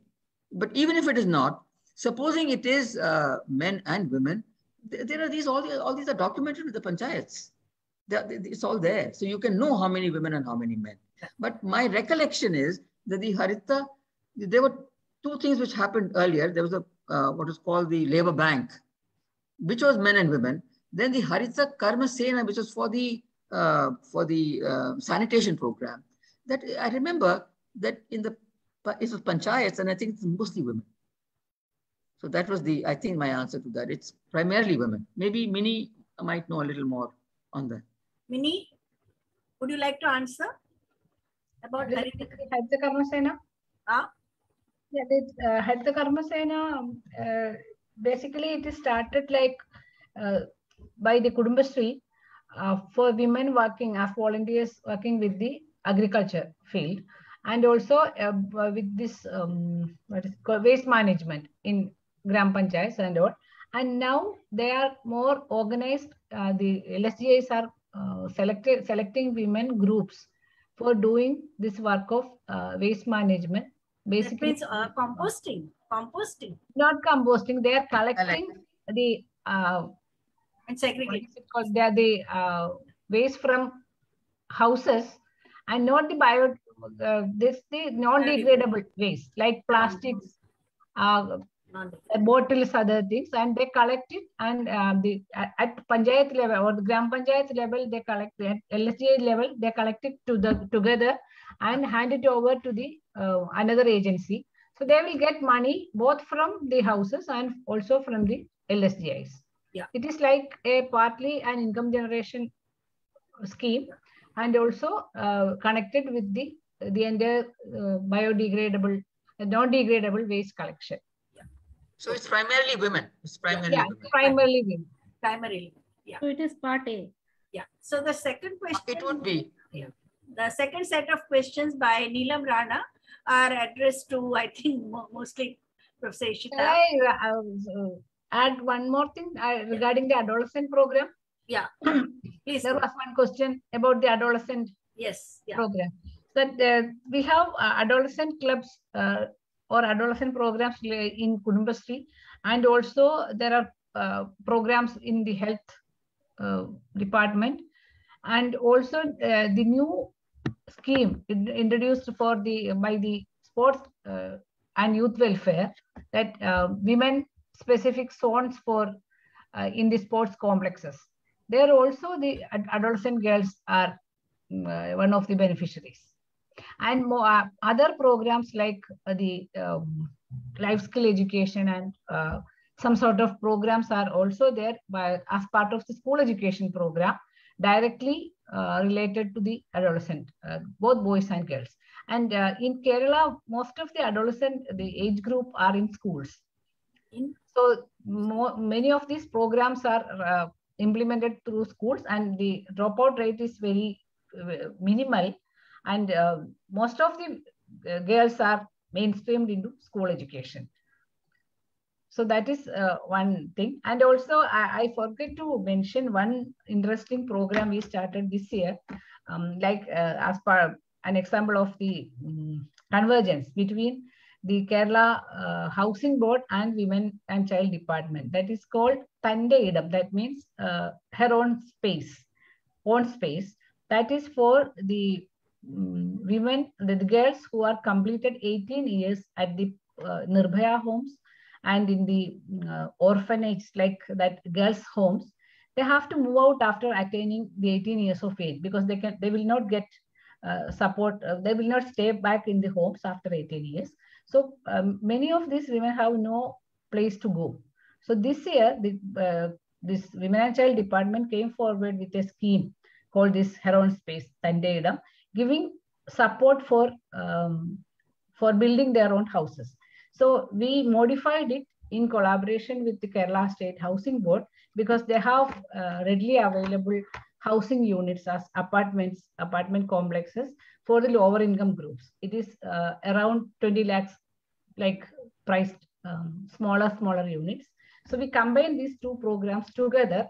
And this year we are implementing it because they will get uh, cross subsidies from uh, Women and Child and also from, they, they will get the money from Women and Child and get a subsidy from the housing board. So they can manage to get a two bedroom, smaller flat units uh, for these girls.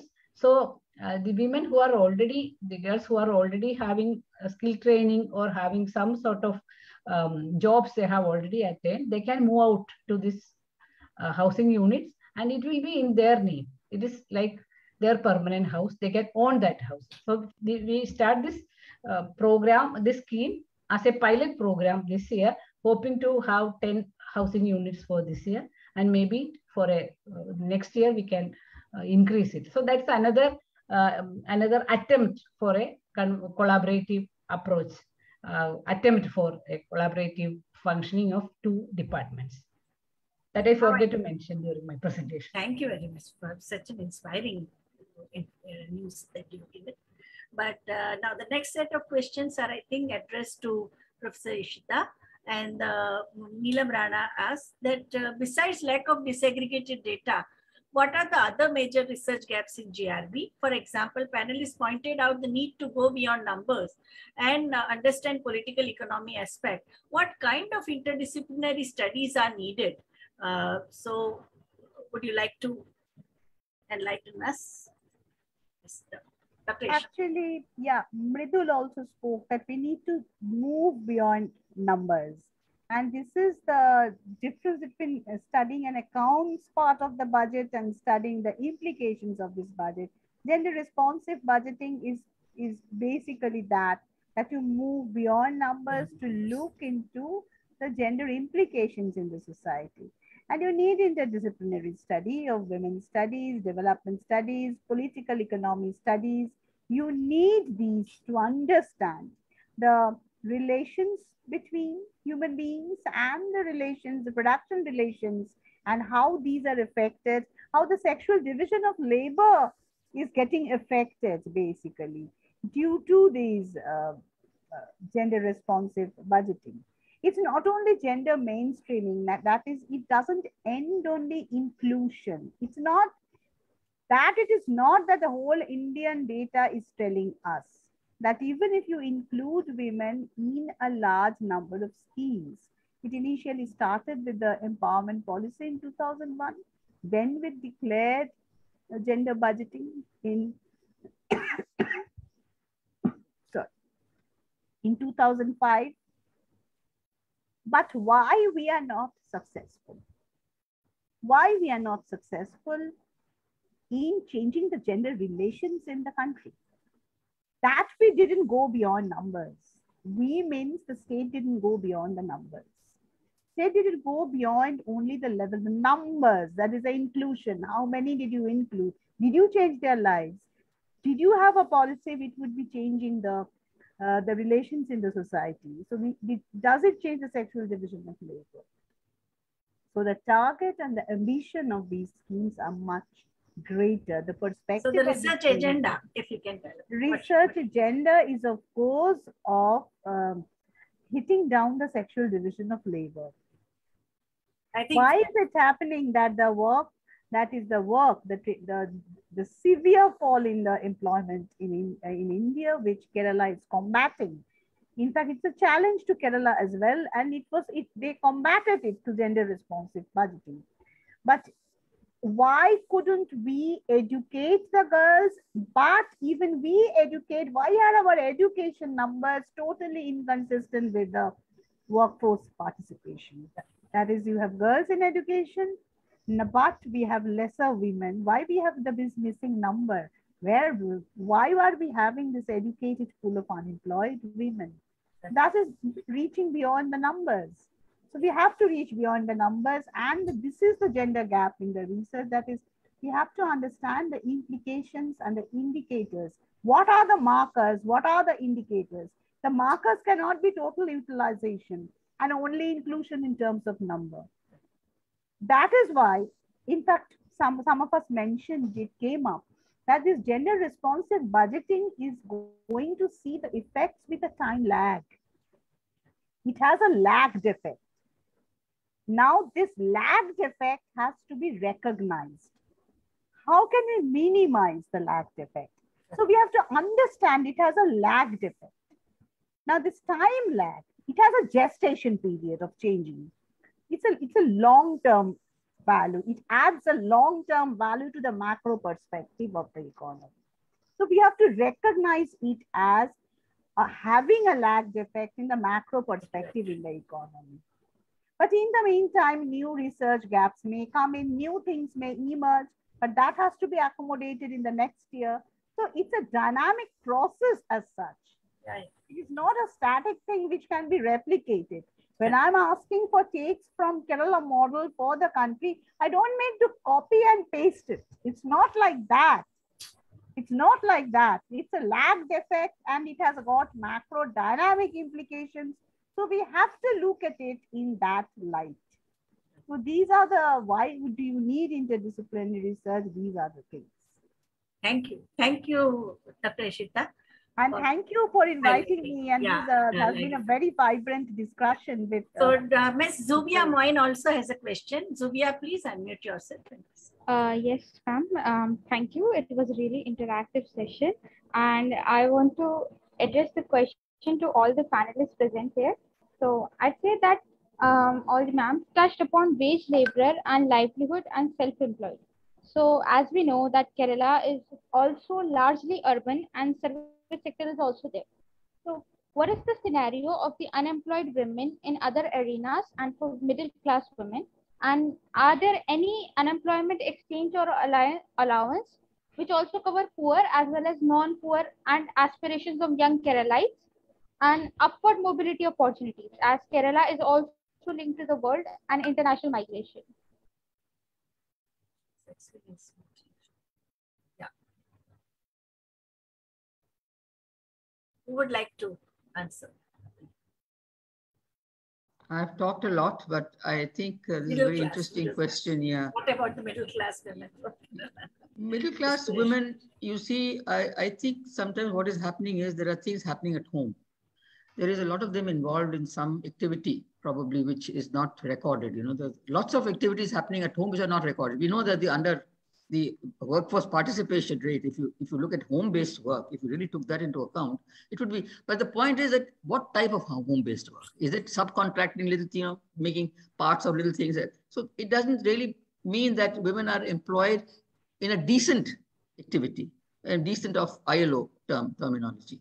So the middle class women, uh, the educated women, you know, now the thing is, of course, there are reasons why they may not be going out to work. There could be you know, social reasons or, you know, the family doesn't allow them to work after they get married. There is a, there's a issue like that also that, you know, if you're a little better off, then, you know, the, your, if, if it's a work which is of your, you know, status, you, you'll be allowed to go. Otherwise, you may not be allowed to go. So that is a big problem in Kerala also, that some of the women are not coming out to work because it doesn't either match their educational qualifications or it is not considered to be a status in terms of the, the social the class they belong to.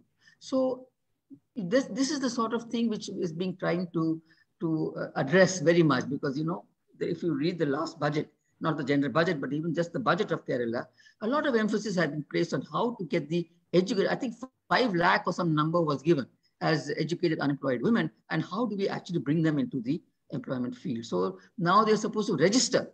Kudumbashree is actually a submission under the knowledge economy mission where you can register you what qualification do you have you know so i'm saying that one thing as somebody pointed out that the government is very much aware of what is happening. It's not that the government is not aware. The government is also trying to take action. But the point is sometimes it's it's not reaching to the extent it should and sometimes it's not really uh, having the effect that it should. But that the government is aware of all that is happening there is absolutely no doubt. So this question that you asked you know the, especially the middle class, that is what we're trying to do now. How to get them? I think there were actually two or three in the in the budget, if I remember, how to uh, you know uh, to uh, address the issues of the less educated, how to address the issues of the somewhat more educated and the very educated, you know, the IT walas like that. So they've actually broken it down into, you know, the, because we know that education may not reach all, then are they going to be left out of the whole uh, thing that is happening in Kerala? So all the, how do the Kudumbashree women, for instance, raise their levels of living? You know, they are not so educated, but the younger ones are.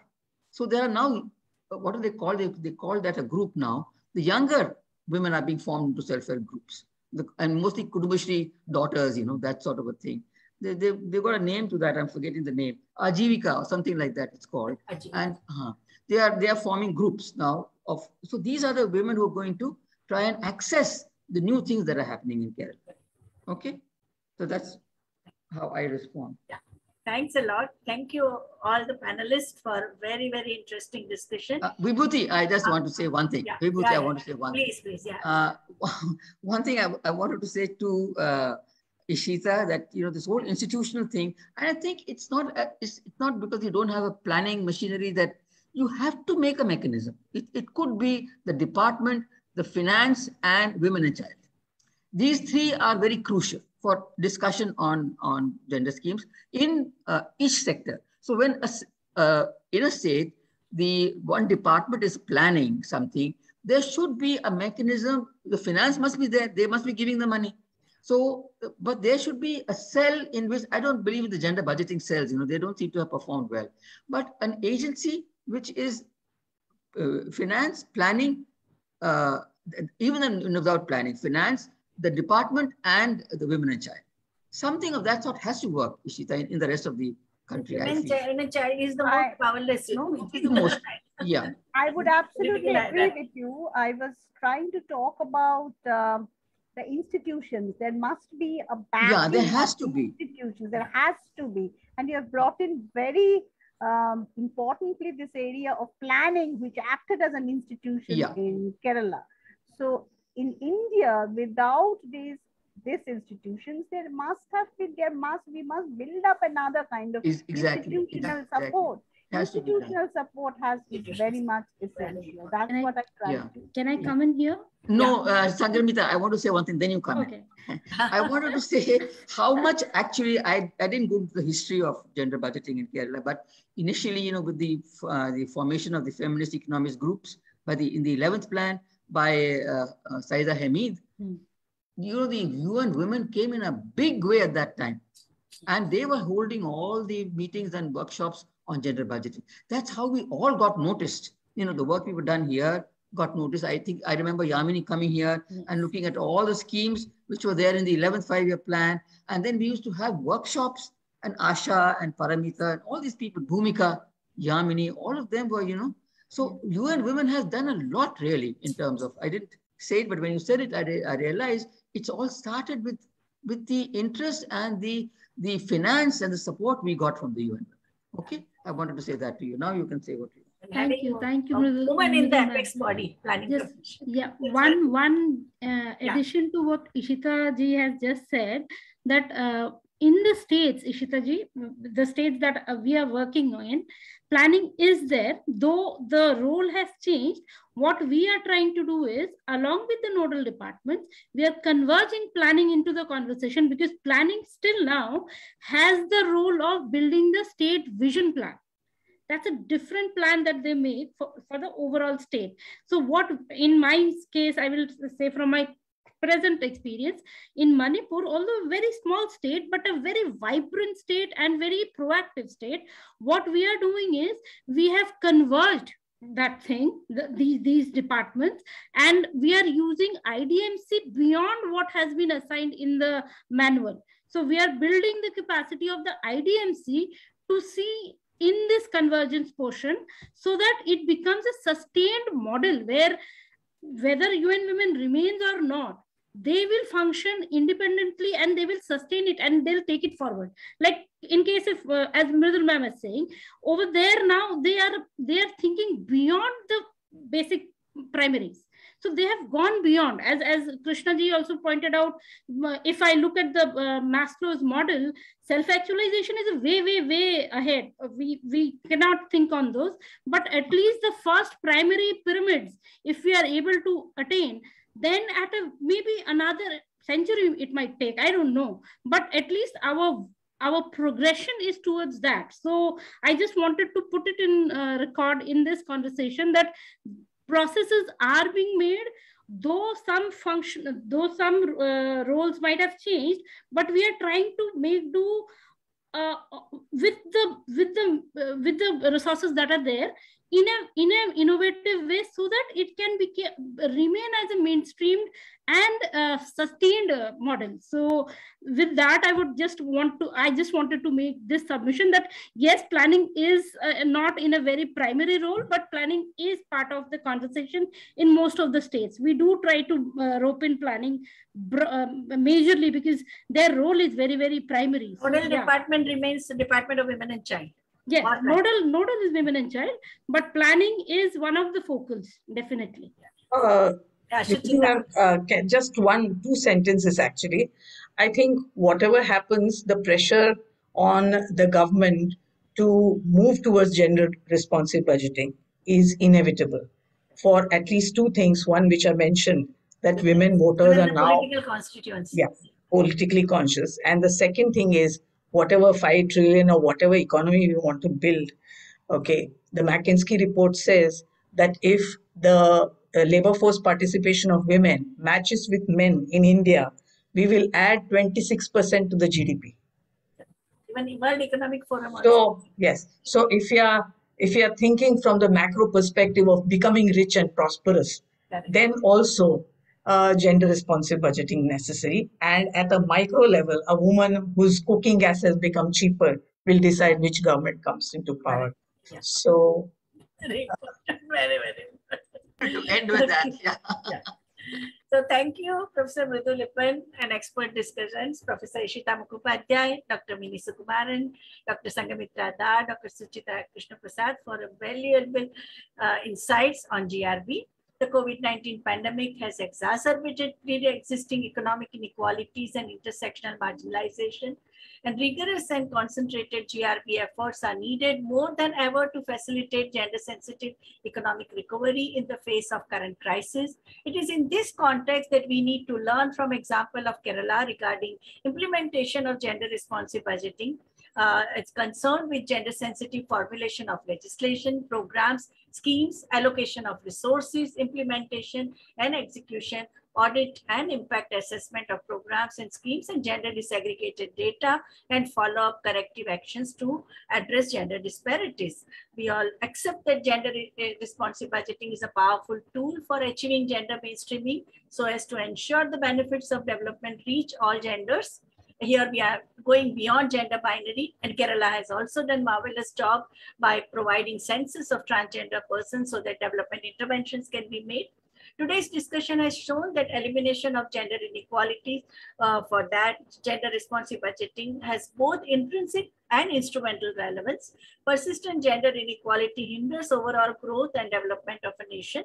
Uh, as I think the last uh, statement made by Dr. Suchita, the economic rationale for promoting gender sensitive budget also emanates from efficiency and equity perspective that 50% of the population of citizens, their energies are not channelized and development investment is not made, then it is the state or the national nation which is the loser. Gender responsive budgeting exercise highlights how gender hierarchies influence budgets, gender-based unpaid or low-paid work. Kerala gender budgeting efforts stand out globally I would not say only nationally, but I would say it is globally because of its Human Development Index, GDI and GM uh, are also quite praiseworthy. The achievement could happen due to knowledge building, networking, institutionalizing processes, and capacity building and enhancing accountability. When union budget allocation has stagnated, and this year it has even deteriorated with only 1% for the social sector. 99% has gone to CapEx. Kerala's record is really inspiring. Uh, I would uh, like IMPRI team to take over now. Thank you, ma'am. So over to Zubia. Yeah, thank you, everyone. It was indeed a very stimulating discussion with all the enlightened experts. And it was in uh, within a very limited time and we would have loved to learn more from all of you. So as we come to the end of this extremely enlightening discussion, I, Zubia Moi, researcher at IMPRI, Impact and Policy Research Institute, New Delhi, would like to formally propose a vote of thanks on behalf of IMPRI Gender Impact Study Center. Uh, we are grateful to Professor Vibhuti Patel for chairing and leading the special talk on a pragmatic approach towards gender responsive budgeting experience of Kerala. We'd also like to express our gratitude to the speaker for today's session, Professor Mridul Eapen, for taking out her precious time to share her views on this crucial topic. We thank our esteemed discussants, Professor Mini Sukumar, Professor Suchita Krishnaprasad, Dr. Sanghamitra Dhar, Professor Ishita Mukhopadhyay for adding your diverse perspectives and valuable insights to the deliberation. And of course, we thank all our participants here on Zoom or on Facebook Live for participating and raising pertinent questions.